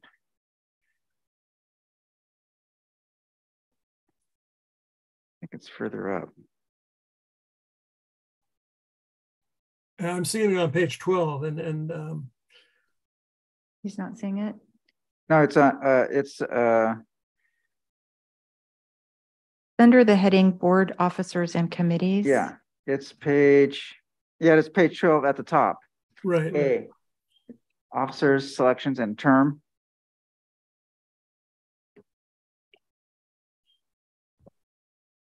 So there, there's a, uh, change here because, um, uh, it says selection of, of officers shall normally be held at the second. We changed it to the second regular meeting in December of the year prior to the new term of office. Based on who is next on, in the rotational list. The director at the top of the rotation shall become board president and the next in line shall become vice president. Why second instead of first? What was the thought? Meeting in Uh, December. The thought was, uh, uh, there's a statute that says that uh, you have, um, you have thirty days, was it thirty days? To take the oath of office? Yeah, you had, to- you had to, you had to take your oath of office um, uh, within thirty days of um, an election. I think it's the certification of. the Certification, yeah, because the certification is actually uh, December sixth, so the first opportunity to, to, um, to get, uh, yeah, first opportunity to. to- For returning, for in- returning incumbent members, when, when do um newly electeds take office? They take the, the It's- first Monday in the, of, of January. All right, so that change would have been to accommodate someone like myself who's gonna get certified at some point. In December. Yeah. So, so this um rotation policy, would it, would um, you would know who the incoming uh electeds are? They would not yet be seated. You would be um going through the rotational order based on those that have more seniority and have already been on the board. They, they would fall in at the bottom of the queue. It- My understanding is this is basically just putting into writing what the practice has Right. been through. Well, it's codifying the rotation. Yeah. That we historically, tradition, I guess, has That you're dictate. I was just wondering why, I guess it really doesn't matter whether it's first or second meeting in December is what I'm hearing. But there may be an advantage to the second meeting in terms of knowing who's going to be on the board. Knowing who's on being, and then they have to take the oath of office prior to that. Uh, prior to their term beginning. right. But this, but they can have the ceremony anytime, right? Okay. Yeah. So the, the, the real life issue with codifying the rotation is I have, well, I'll, I have worked for agencies in which the majority of the board did not want to rotate a member into the um, chair of the board. Yes, we- Because of competency issues. I've worked for a couple of those agencies. And essentially, as part of the election of new officers, they had to amend their policy to not be rotational. And so if, if that situation ever arises, you can deal with it that way. It's obviously a nasty situation to be in and wouldn't expect it here, but it is a, a practical issue. Well, in our original draft, we kind of addressed that, Mhm. but we thought there's a lot of pros and cons to that. So we thought, I mean, it's still, we could still add it in. Uh, and, and it'd be at the um discretion of the rest of the board. Yeah, it's always going to be at the discretion of the board and I'm and I'm comfortable with this agency uh, having uh, Yeah. having that in And I- place. In eighty-five years, I don't think we've had. All right. But you never know. Do you want to make the motion? Sure, I'd love to. Yeah. Yeah, I'd like to move that we uh recommend this uh to the board of directors. Thank. Second, It's been moved and seconded. Please call the roll. President Coffey, Aye. Director Rosario, Aye. Director Waespi. aye. Okay, there shall eventually be an end to this meeting. We're coming up to item eight, public comments on matters not on the agenda. Any requests? That's usually Kelly. Any others aside from Kelly? Don't see any. Don't see any in the room or the Zoom room. So go ahead. So go ahead with Kelly A. You have three minutes, please. Thank you. Okay, thank you. Um, the uh, Park District just announced a $15 million project. It's been going on for years, but they announced that this 15 million project would permanently remove 50 free parking spaces on Paseo Padre near Paci- uh, near Coyote Hills, uh, starting 10 days from now. And uh, the park visitors there are uh, are alarmed. Uh, the city officials are suggesting that, quote, residents can make plans to enjoy another nearby park, end quote. In other words, it can go somewhere else. This raises questions about whether the park district and the city assign a high priority to parks and trails. Uh, Caltrans Caltrans, it's a state agency. They do uh, uh, view their parks and highways and freeways as essential infrastructure. So they would never shut down lanes when they construct new roads and bridges. They would even build detour lanes as replacements to make sure that they don't lose lanes uh, while new new stuff is getting built. Uh, Coyote Hills is one of the top two most parking constrained regional parks in the entire district. Data from the last two and a half years that the park district never looks at shows uh, that uh, Coyote Hills has a park, parking fee of five dollars, um, and they are shutting down three weekends a month. Another park, another park uh, that also shuts down three weekends a month is uh, Point Pinole, but uh, they only charge three dollars for parking over there. Um, Lake Chabot uh, has 200 free roadside parking spaces outside the park, and they're only shutting down 1.25 weekends a month, a lot less. And um, and they have a lot of parking outside the park that's free, right out there on that road. Um, these 50 parking spaces are about to close in 10 days. Uh, and people are very concerned about the loss of this much needed parking in Coyote Hills.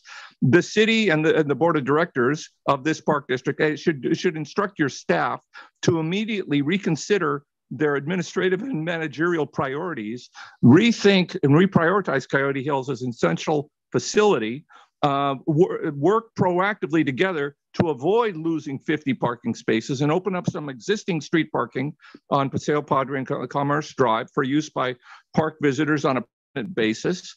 Um, and anybody who's concerned about walking across the street, go visit Lake Chabot. They have a crosswalk there, and the speed limit there is 35 or 50 miles an hour on that road.